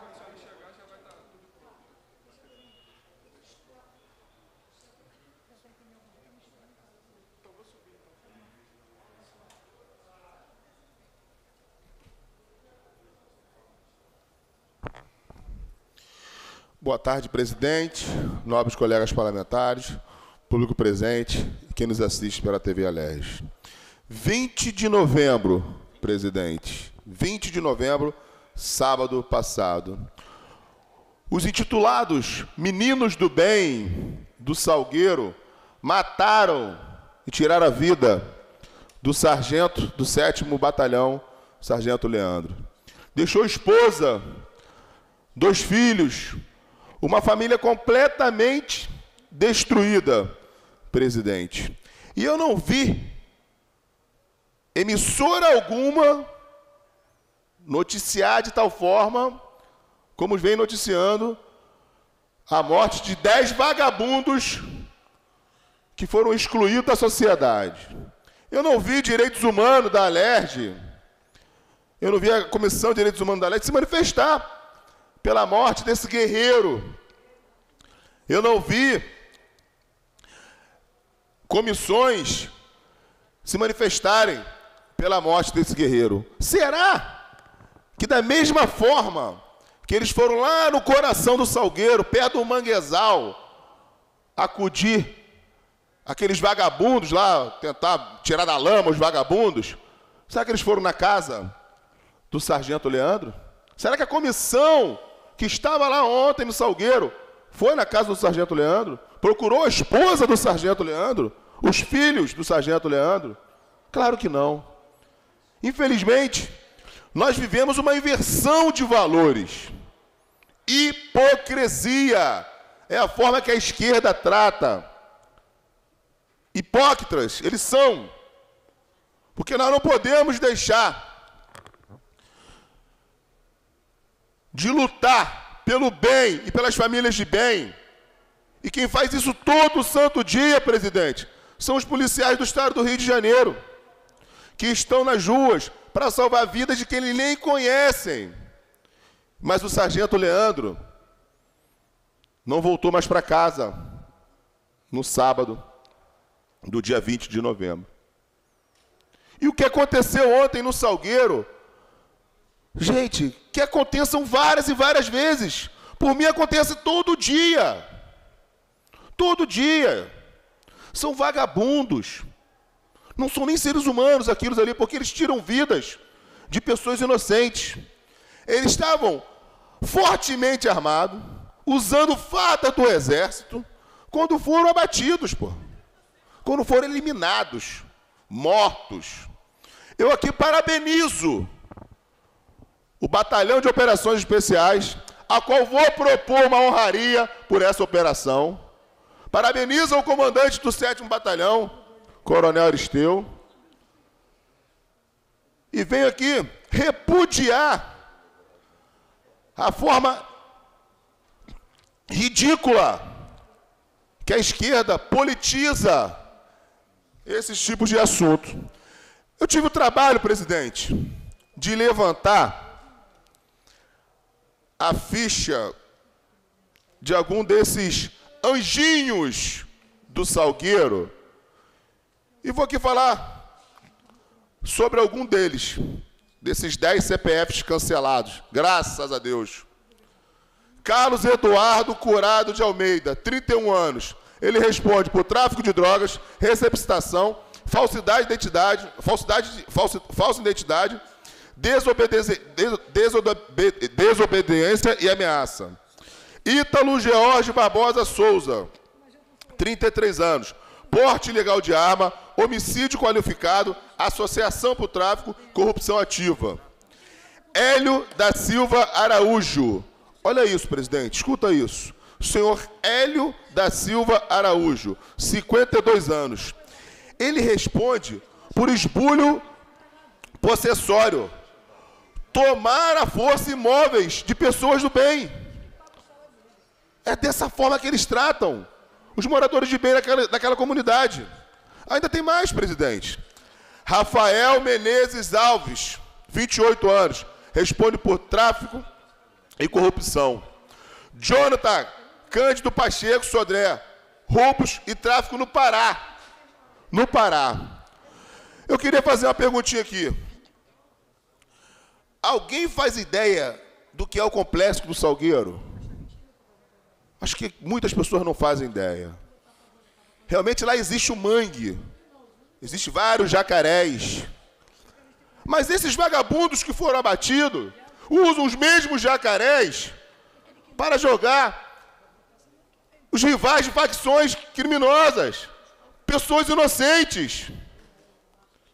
E dizem Estão dizendo aí, né, a esquerda dizendo, que os policiais jogaram os vagabundos no mangue. Não, eles foram se esconder no mangue. Foram se esconder no manguezal. E nós temos hoje essa inversão de valores que ocorre em nosso Estado. Presidente, eu tenho certeza, certeza, que mais de 99% da população que mora ali no Complexo do Salgueiro são pessoas de bem, deputado Marco Vinícius. São pessoas do bem, trabalhadoras, pessoas honestas, mas que infelizmente elas vivem oprimidas por, tra por traficantes, por vagabundos. Esses mesmos traficantes que hoje têm a prática da milícia, deputado Lucinha.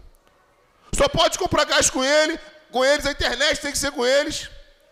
99% da população que mora no Salgueiro são pessoas de bem. Pessoas que não aguentam mais viverem, deputado, oprimidas pelo tráfico. Pedro Ricardo, é triste, é triste uma pessoa não poder ter o direito de ir e vir. impedido por um traficante.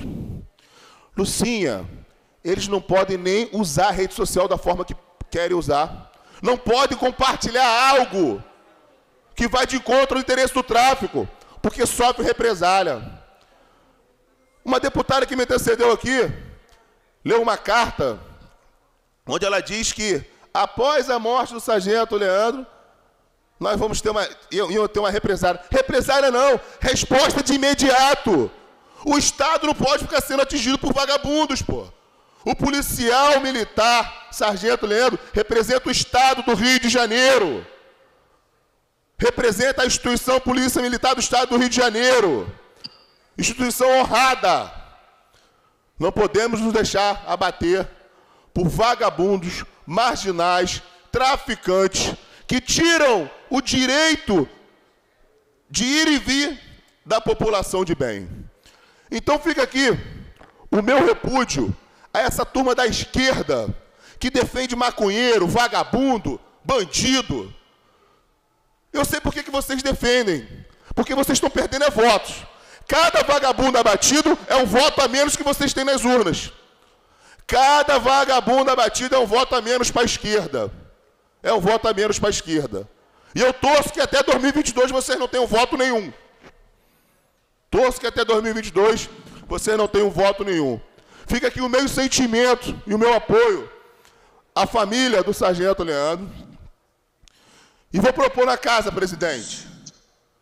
Vou propor na casa uma honraria para os policiais do BOP, para os policiais do 7 Batalhão e pelo Coronel Aristeu, que já vem, que assumiu há pouco tempo o 7 Batalhão e vem fazendo um serviço exemplar. Conte comigo, conte comigo, porque eu estou aqui justamente para defender a população de bem. Enquanto os vagabundos, eu quero que eles, como dizia aqui, eu não estava aqui na época, né? Dizia o, deputado Sivuca, bandido bom é bandido morto, mas eu vou endossar, tem que ser enterrado, né? Tem que ser enterrado em pé, para não ter enterrado de, de cabeça para baixo, para não ter chance de voltar, Lucinha. Muito obrigado. Próximo orador inscrito é o nobre deputado Marcelo Cabeleireiro. Não se contando presente. Próximo orador inscrito é o nobre deputado Renata Souza. Não se contando presente. Próximo orador inscrito é o nobre deputado Marcos Vinícius. Vossa Excelência dispõe de 10 minutos no tempo regimental.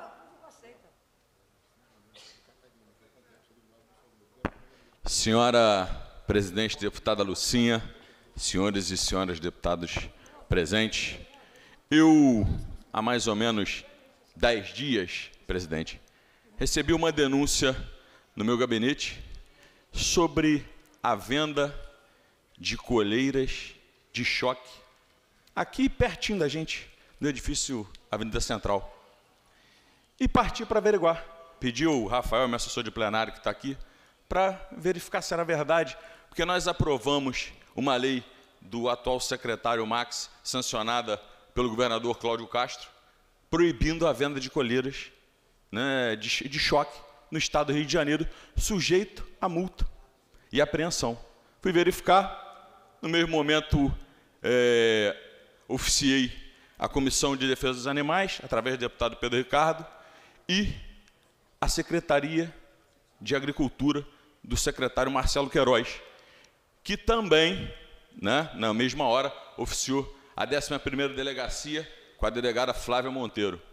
Fizemos uma operação hoje que foi um sucesso, e aqui eu quero agradecer o Marcelo Queiroz e a delegada Flávia, porque nós apreendemos, Pobel, 30 colheiras aqui no Menezes Cortes, só aqui 30, mais as apreendidas no comércio da Rocinha.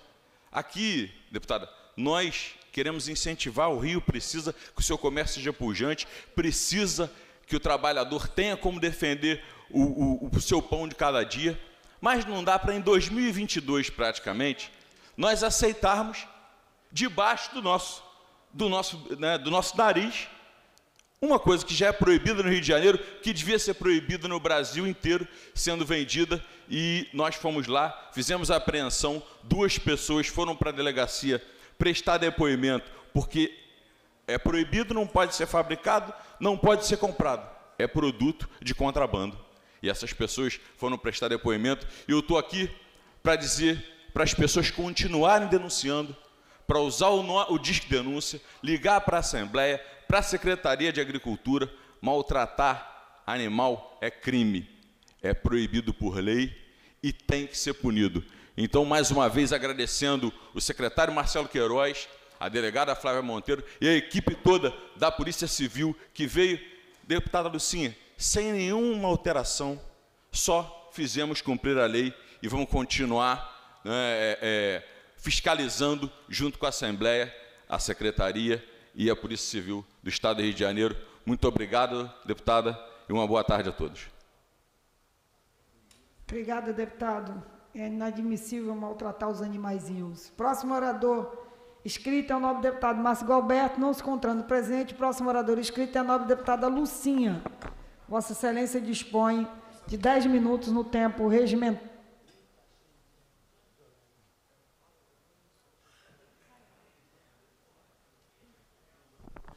É, boa noite à nobre deputada Tia Ju, nossa presidente nos trabalhos agora do, do final do expediente, expediente final.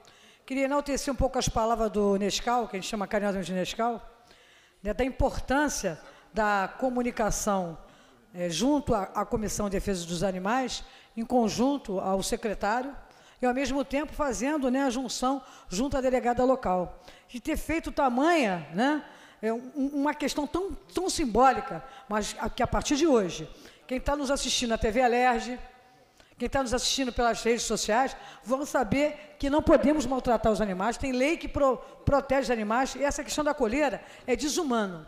Então, a ação que Vossa Excelência fez hoje, em conjunto com a delegacia e com o secretário, corretíssima. Nós não podemos admitir, até do século XX, né? nós estamos no século XXI, Estamos vivenciando ainda coleira de choque, coisa que nós proibimos aqui na casa. E quando Vossa Excelência vai com a Polícia Civil para fazer cumprir a lei, tem que levar a Polícia Civil sim, porque ela está ali para garantir a sua integridade e dos seus assessores. Porque às vezes você tem determinados comerciantes que ultrapassam os limites, eles acham que são superiores. Eu vivi isso, fui presidente da Comissão de Segurança Alimentar, Vossa Excelência sabe perfeitamente, quando a gente ia fechar um estabelecimento por falta de higiene, era um desespero danado, porque os cara, o empresário começa a gritar. Falei, ah, não estou aqui para gritar, nem para discutir com, com, o senhor, não. O senhor é dono do, do estabelecimento, não pode vender mercadoria com data vencida. Não pode ter essa cozinha em péssimo estado, então nós vamos fechar o seu estabelecimento e fazemos cumprir a lei. Então, acho que é dessa forma que o parlamento engrandece. Pois não.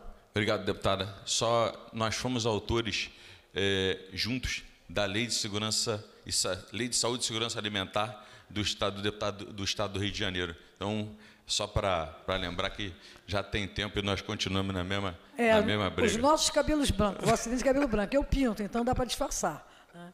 Mas eu queria hoje aproveitar esse momento, é, aproveitando as pessoas que ainda estão aqui na casa, os deputados, queria agradecer a presença de todos que estão ainda na casa, a que estão nos assistindo, o pessoal da TV Alerj, que está sempre cobrindo aí, e dizer que amanhã é um grande dia aqui na Assembleia Legislativa, que nós vamos ter audiência pública para discutir a questão da UESO. Queria ressaltar que a UESO é a Universidade da Zona Oeste. E para conseguir a implementação da UESO, foi muita luta da população de Campo Grande, Iuaíba, Paciência, Santa Cruz, né? Bangu. Foi uma união de todos, inclusive na época do deputado. É, esqueci o nome dele. Nosso amigo que é deputado aqui na casa, que é de Bangu, Coronel Jairo que também na época colaborou muito. E nós lutamos muito para conseguir viabilizar o ESO. Por que, que é o ESO? É a Universidade da Zona Oeste. Ela se propõe o quê? A dar oportunidade aos jovens da Zona Oeste de poder fazer uma universidade pública. Já que nós sabemos, deputado Pobel, que quem estuda, deputado Pedro Henrique, quem estuda na UERJ ou na FRJ, que faz faculdade de medicina, engenharia, as faculdades mais importantes, não são os filhos de trabalhadores.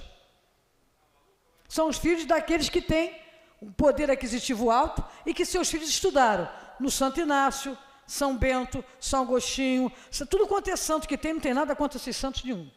Né? E nos cursinhos preparatórios. Então, esses têm acesso a entrar na UERJ e na FRJ. A maioria da população, dos nossos jovens, não conseguem passar para a universidade pública. Esta é que é a realidade, infelizmente. E num momento como esse, eu estou vendo o governador, Pobel, uma mensagem aqui na casa que quer incorporar o ESO para o ERJ. Para atender quem? O interesse corporativista dos professores da, da UESO, que querem ser titulares agora como representantes da UFRJ, da, da UERJ, eles vão deixar de ser o ESO e vão ser equiparados ao UERJ. Essa que é a verdade. É um corporativismo muito grande. Eu nunca vi um professor ser a favor de fechar uma universidade. Eu nunca vi. Estou vendo pela primeira vez um absurdo como esse. Então, amanhã, a audiência pública começa às 10 horas da manhã. Eu convidei algumas pessoas que podem estar presentes aqui, outros que não podem estar, vão tentar participar via remotamente, mas eu queria ressaltar uma questão importante.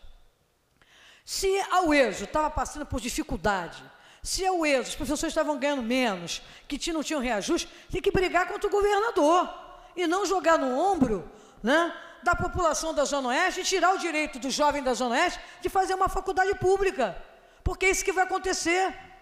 Porque quando a UESO deixar de existir, ela for incorporada pela UERJ, o concurso que vai ser feito para o antigo ESO vai ser do mesmo porte da, da, da, da UERJ. Se hoje uma grande parcela dos nossos jovens da Zona Oeste não conseguem passar no concurso para fazer faculdade na UESO, Tia Ju, já não consegue, imagina quando for um concurso para o ERJ, aí vai ficar mais difícil ainda. Então, na vez do governador estar tá preocupado em comprar um espaço para alocar ao ESO em condições melhores, resolver melhorar e ampliar mais ainda os cursos oferecidos lá, que são poucos, são cinco ou seis no máximo. Não, ele quer simplesmente acabar com uma universidade. É um crime acabar com uma universidade. Estava conversando hoje com o deputado Luz Paulo. Ele falou, Lucinha, pelos nossos velhos tempos, da nossa luta lá de trás, lá da década de 80, nós sempre lutamos para ver as universidades em pé principalmente as universidades públicas. E lutamos, lutamos muito. E não vai ser desse jeito que o governador deseja que ele vai conseguir resolver o problema da desigualdade. Falam tanto de desigualdade na campanha, né? Vamos resolver a questão das desigualdades, vamos dar oportunidade a todos. É muito bonito não falar, mas nas ações são diferentes. E eu queria dizer mais uma vez, para quem está me assistindo, é amanhã 10 horas da manhã. Vai passar ao vivo pela TV Alerj. Você pode assistir. Você vai poder dar também a sua contribuição. E o mais triste ainda é de saber que os jovens da Zona Oeste, que sonhavam um dia fazer universidade pública, esse sonho vai deixar de existir. Porque se já estava difícil concorrer e passar na UESO, imagina passar por um concurso para estudar numa UERJ. Ainda mais, deputada Tia Ju, Vossa Excelência que conhece tão bem a Zona Oeste tanto quanto eu, pode dar seu testemunho agora. Quantos jovens nós convivemos na nossa Zona Oeste, que sonham de fazer uma faculdade? Diversos, deputada Lucinho, tenho conversado, nós, a gente anda ali, eu tenho o maior respeito por Vossa Excelência, que é rainha, eu cheguei muito depois, mas a gente conversa com jovens e algumas crianças que já sonhavam em fazer a, a sua faculdade na UESO e agora está com os seus sonhos é, frustrado por conta da extinção da faculdade é, da Zona Oeste, porque o que eles querem também é ser reconhecido, ter o reconhecimento de uma faculdade do território que eles vivem, cresceram, nasceram. Isso, isso é muito emblemático, isso é muito importante. Não desmerecendo a UERJ, mas quem nasce na Zona Oeste, que vive na Zona Oeste, está crescendo na Zona Oeste, quer fazer faculdade na UESO. É simples assim. Obrigado, Tia Ju, pelas suas palavras e para completar a minha fala, antes de encerrar, dizer que a audiência pública amanhã vai acontecer. Nós sabemos que vai ter momentos difíceis, mas não temos que superá-los. Espero que os parlamentares, semana que vem, quando essa mensagem chegar aqui na casa, deputado Pobel, reflitam bem. A Zona Oeste, no passado, queriam botar um lixão. Lixão de paciência. Queriam acabar com o lixão de gramacho e queriam colocar em paciência. Nós lutamos muito, mas muito mesmo, para conseguir impedir o lixão de paciência. Depois nós tivemos que lutar muito. Há pouco tempo atrás, que queriam tirar o IML de Campo Grande. E aí a população de Campo Grande, da Zona Oeste toda, e mais Itaguaí, ia ter que se dirigir para o centro da cidade, para o IML de centro da cidade.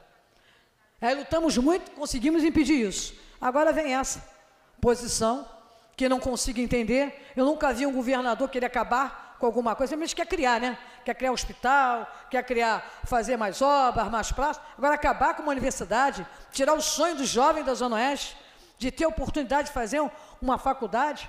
Eu apresentei ao deputado André Siciliano.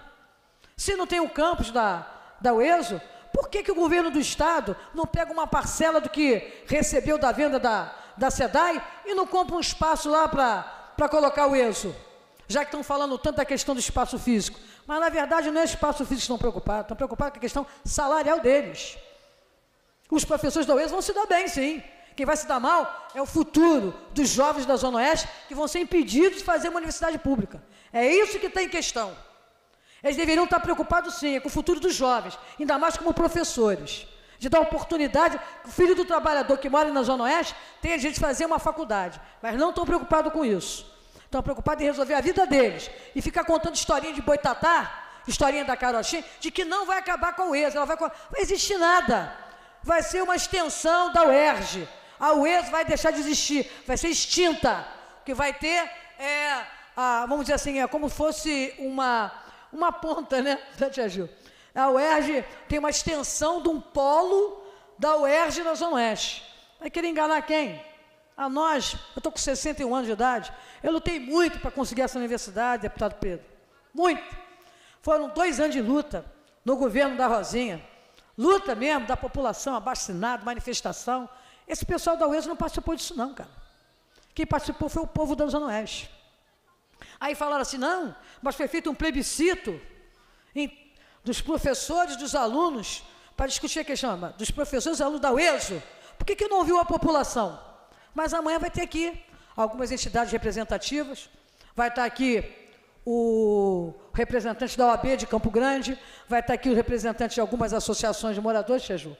Vai estar representante aqui, o representante dos pais alunos das escolas municipais, que eu fiz questão de chamá-los, para participar desse momento, que é um momento de debate, mas eu quero ver na hora de votar. Na hora de votar que eu quero ver a posição de cada um. Eu nunca vi, eu estou aqui já no meu terceiro mandato, acompanho o Luiz Paulo, desde que ele entrou aqui, o Luiz Paulo está no quinto, sempre fomos amigos e parceiros até hoje. Eu nunca vi uma comissão de saúde aceitar uma proposta dessa. Nunca vi. Mas me parece que a comissão de saúde aqui da, da perdão, a comissão de educação aqui da, da LERJ, perdoe, Tia Ju, é a favor. É a favor da extinção da UESO e transformar a, a UESO num polo da UERJ. Isso nós não vamos aceitar. Então, que esteja bem claro para você que está em casa, que mora na Zona Oeste, que está me assistindo, que está me ouvindo, o que querem, na verdade, é acabar com o sonho dos nossos jovens da Zona Oeste. Não querem permitir que eles façam uma universidade pública na nosso ESO, que nós estamos lutando, lutamos durante muitos anos para conseguir é, reafirmar o nosso posicionamento e conseguimos implementar o ESO na Zona Oeste. Então, amanhã, 10 horas da manhã, que todos possam participar, assistam pela TV Alerj, porque quando a matéria vier votar aqui na casa, vou fazer questão de pedir verificação nominal, para saber quem é que é a favor realmente do jovem da Zona Oeste, que quer cursar uma faculdade no futuro, ou hoje, ou aquele que está se escondendo. Tem que botar a cara e votar. Então, peço mais uma vez a colaboração de todos os meus pais que estão me ouvindo, porque eu não abro mão de defender a minha região, que é a Zona Oeste. Da mesma forma, se quisessem acabar com a Universidade de Campos, eu seria contra. Ou se fosse, quisessem acabar com uma universidade, qual seja qual for, eu seria contra. O que nós precisamos é dar oportunidade ao jovem. E, Tia Jô, peço a Vossa Excelência para me ajudar nessa tarefa. Da mesma forma que Vossa Excelência me ajudou lá atrás na luta contra o lixão de paciência. Talvez seja por isso que a senhora esteja sentada nessa cadeira. Já está no seu segundo, terceiro mandato. E eu também. Porque tem a posição muito o quê? Clara, firme e determinada. A gente tem que lutar em benefício da população, porque é a população que nos elege. E Deus está vendo também. Quem é que está preocupado com a nossa juventude? Ele está vendo também. Porque tem pessoas que acham que passa desapercebido, mas não passam não. Então, mais uma vez, reafirmando o compromisso que eu tenho com a Zona Oeste, de estar aqui lutando para impedir esse grande absurdo que é acabar com a UESO na nossa região da Zona Oeste. Muito obrigado. Obrigada, deputada Lucinha. A- Uma região tão necessitada de políticas e de espaços educacionais, educativos, uma universidade, enfim. A gente precisa lutar para garantir tudo isso. E Tia Ju, esqueci de falar, é 1 milhão e 200 mil moradores É, lá. 1 milhão e 200 mil am- E habitantes. A gente não pode ter uma universidade da É verdade. É uma, é uma cidade, na verdade, dentro de outra cidade. É uma cidade. Próxima oradora inscrita, a nobre deputada Célia Jordão. Vossa Excelência dispõe de 10 minutos no tempo regimental. Boa tarde, nobre deputada Tia Ju, que preside esse expediente final. Uma boa tarde a todos e a todas, os deputados e deputadas, aqueles que no- nos acompanham pela TV Alerj. Saudar carinhosamente a deputada Lucinha e dizer, Lucinha, que estamos juntas aí né, nessa luta, porque Vossa Excelência eh, tem toda a razão. É? Eu acho que, assim como o governo do Estado pode eh, fazer essa incorporação para manter um polo universitário como braço da UERJ eh, na Zona Oeste, pode muito bem fazer investimentos para que a UESO se mantenha como universidade, ofertando não só os cursos que já, já possui, mas também ampliando os demais. E investir mais na educação, para que esses jovens, né, jovens adolescentes, possam ter mais qualidade no seu ensino médio, aplicar mais eh, ensino técnico, porque muitos jovens hoje são melhores aproveitados quando já saem com uma formação profissional, não é? e podendo trabalhar posteriormente investe também na sua carreira universitária, principalmente aqueles que são de famílias mais vulneráveis. Então, dizer a Vossa Excelência, deputada Lucinha, que estamos juntas nessa luta né, em defesa pela educação da nossa juventude. Mas eu venho aqui, deputada Tia Ju, também a essa tribuna, para falar sobre dois temas. Né? Um deles é sobre a CPI dos royalties, que concluiu os seus trabalhos. Gostaria de estar nesse momento registrando eh, a minha satisfação, a minha honra de ter poder, eh, por ter podido participar ao lado desse deputado decano da casa, que é o deputado Luiz Paulo Correia da Rocha, uma grande escola para todos nós, com toda a sua experiência e generosidade em compartilhar os seus conhecimentos com os deputados mais jovens, principalmente eu que sou de primeiro mandato e que concluí recentemente 300 dias né, de mandato efetivamente na Alerj, né, podendo usufruir é, do conhecimento de todos, mas especialmente do deputado Luiz Paulo, que capitaneou um trabalho muito complexo, juntamente com a equipe técnica e os outros deputados membros da CPI, o deputado Márcio Pacheco, é, que foi o relator eh, da matéria, e, e- e que concluiu não é, pela perda de receita para o estado do Rio de Janeiro, recuperando assim, não é, eh, dentro do trabalho que foi desenvolvido, podendo recuperar 20 bilhões é, de, de reais para os cofres públicos, entregando importantes eh, eh, trabalhos, como um deles conclu- na conclusão, a questão do convênio é, que foi firmado com a ANP, para que houvesse mais transparência na questão do controle não é, do Fundo de Participação Especial dos royalties para o Estado do Rio de Janeiro e os seus municípios.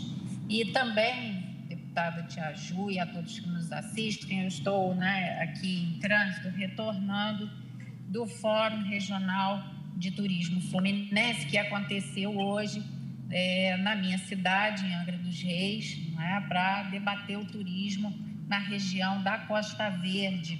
E a Secretaria de Turismo, juntamente com a Turis Rio, apresentaram ações né, que estão sendo capitaneadas pelo governo do Estado, mas nós precisamos também não é, falar de turismo, que é uma importante atividade eh, geradora de emprego, de renda do nosso Estado do Rio de Janeiro. Né? Nós sempre falamos muito que o Estado do Rio é vocacionado para o turismo, e o turismo é uma indústria sem chaminé que nós possuímos, né? e isso o mundo inteiro, um, um forte setor e que vem que vem retornando nesse pós-pandemia com muito desejo por esta retomada, não é? Muitas pessoas ficaram, inclusive, desempregadas, muitos fecharam suas portas, rede hoteleira, rede de restaurantes, bares, prestadores de serviços, não é? Pessoas autônomas, guias de turismo, então os aeroportos. É, a gente precisa, sem sombra de dúvida, estar tá debatendo é, as dificuldades do setor para que a gente possa concluir, não é, por alguma solução é, que resolva alguns gargalos, não é, do setor. Nós precisamos é, investir mais, né, na infraestrutura, porque não pode falar em turismo sem uma infraestrutura de, de estradas, é, de segurança, de tecnologia, não é como foi anunciado pelo governo federal, a implantação do 5G, da tecnologia em 5G, algumas questões burocráticas que também são demandadas pelo setor. Então, foi um, um fórum bastante produtivo. É uma ação que o governo do Estado, né, nas diversas áreas é, das políticas públicas, ele vem levando ao interior, porque é importante a presença do governo do estado no interior, principalmente as cidades menores se ressentem muito dessa presença. E eu sempre destaco muito a questão da atuação do governador Cláudio Castro, que vem interiorizando então o trabalho do, do governo do estado. Mas é, a parte, né, a parte da, dos elogios que muitas das vezes a gente faz reconhecendo um bom trabalho, eu também gostaria aqui, né, nesse momento, aproveitar a minha fala, deputada Tia Ju, né, para pontuar uma questão que muitas das vezes o próprio governador é, é, desconhece, que é a falta de atenção que muitas das vezes nós, enquanto deputados, realmente sofremos é, vindo de alguns secretários de Estado.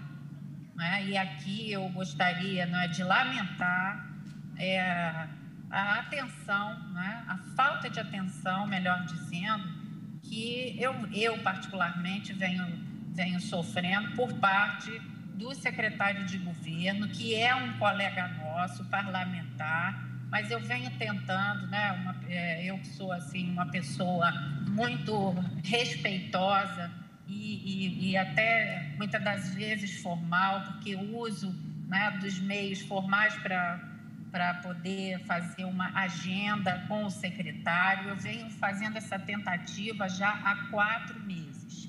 Eu, pessoalmente, muitas das vezes telefono, quando não atende, se atende, diz que retorne, não retorna, não é? Então, assim, eu venho aqui fazer essa essa pontuação porque realmente uma deputada não ser recebida, não é, há quatro meses por um secretário, isso é lamentável, porque eu não procuro secretário para tratar de assunto particular, eu procuro secretário para tratar de assunto que é de interesse da população. Então, eu gostaria de estar aqui registrando né, essa, esse meu repúdio a essa atitude desrespeitosa do secretário de governo. Já, inclusive, deputada Tia Ju, que preside esta sessão no final, já pontuei essa questão ao, ao deputado Márcio Pacheco, que é o líder de governo, né, que ficou também de estar levando essa, essa questão, mas é só para registrar. Né? Eu acho que é, ele, como parlamentar, deveria ter um pouco mais de entendimento e, ao invés de eleger um, um pequeno grupo como seu grupo parceiro, deveria ter aberto os seus ouvidos mais abertos a todos os deputados. Então, eram essas as minhas palavras, deputado Tiaju, né? dizer que, como membro da Comissão de Turismo, né, compareci ao fórum, né, representando também a Comissão de Turismo, que vem debatendo temas importantes, como a dos aeroportos no estado do Rio de Janeiro, como os transportes é, de turismo. Né? Então, a gente vem pensando e trabalhando, como Vossa Excelência também, né, com um corpo único desta Assembleia, pensando na retomada da economia do Estado do Rio de Janeiro, porque o maior programa social que nós podemos entregar para a população chama-se oportunidade de emprego e de renda. Ainda que o governo do estado, o governo federal possa disponibilizar programas socioassistenciais de transferência de renda, mas não se substitui a uma oportunidade de trabalho de renda, que é o que os pais chefes de família, as mulheres chefes de família mais clamam.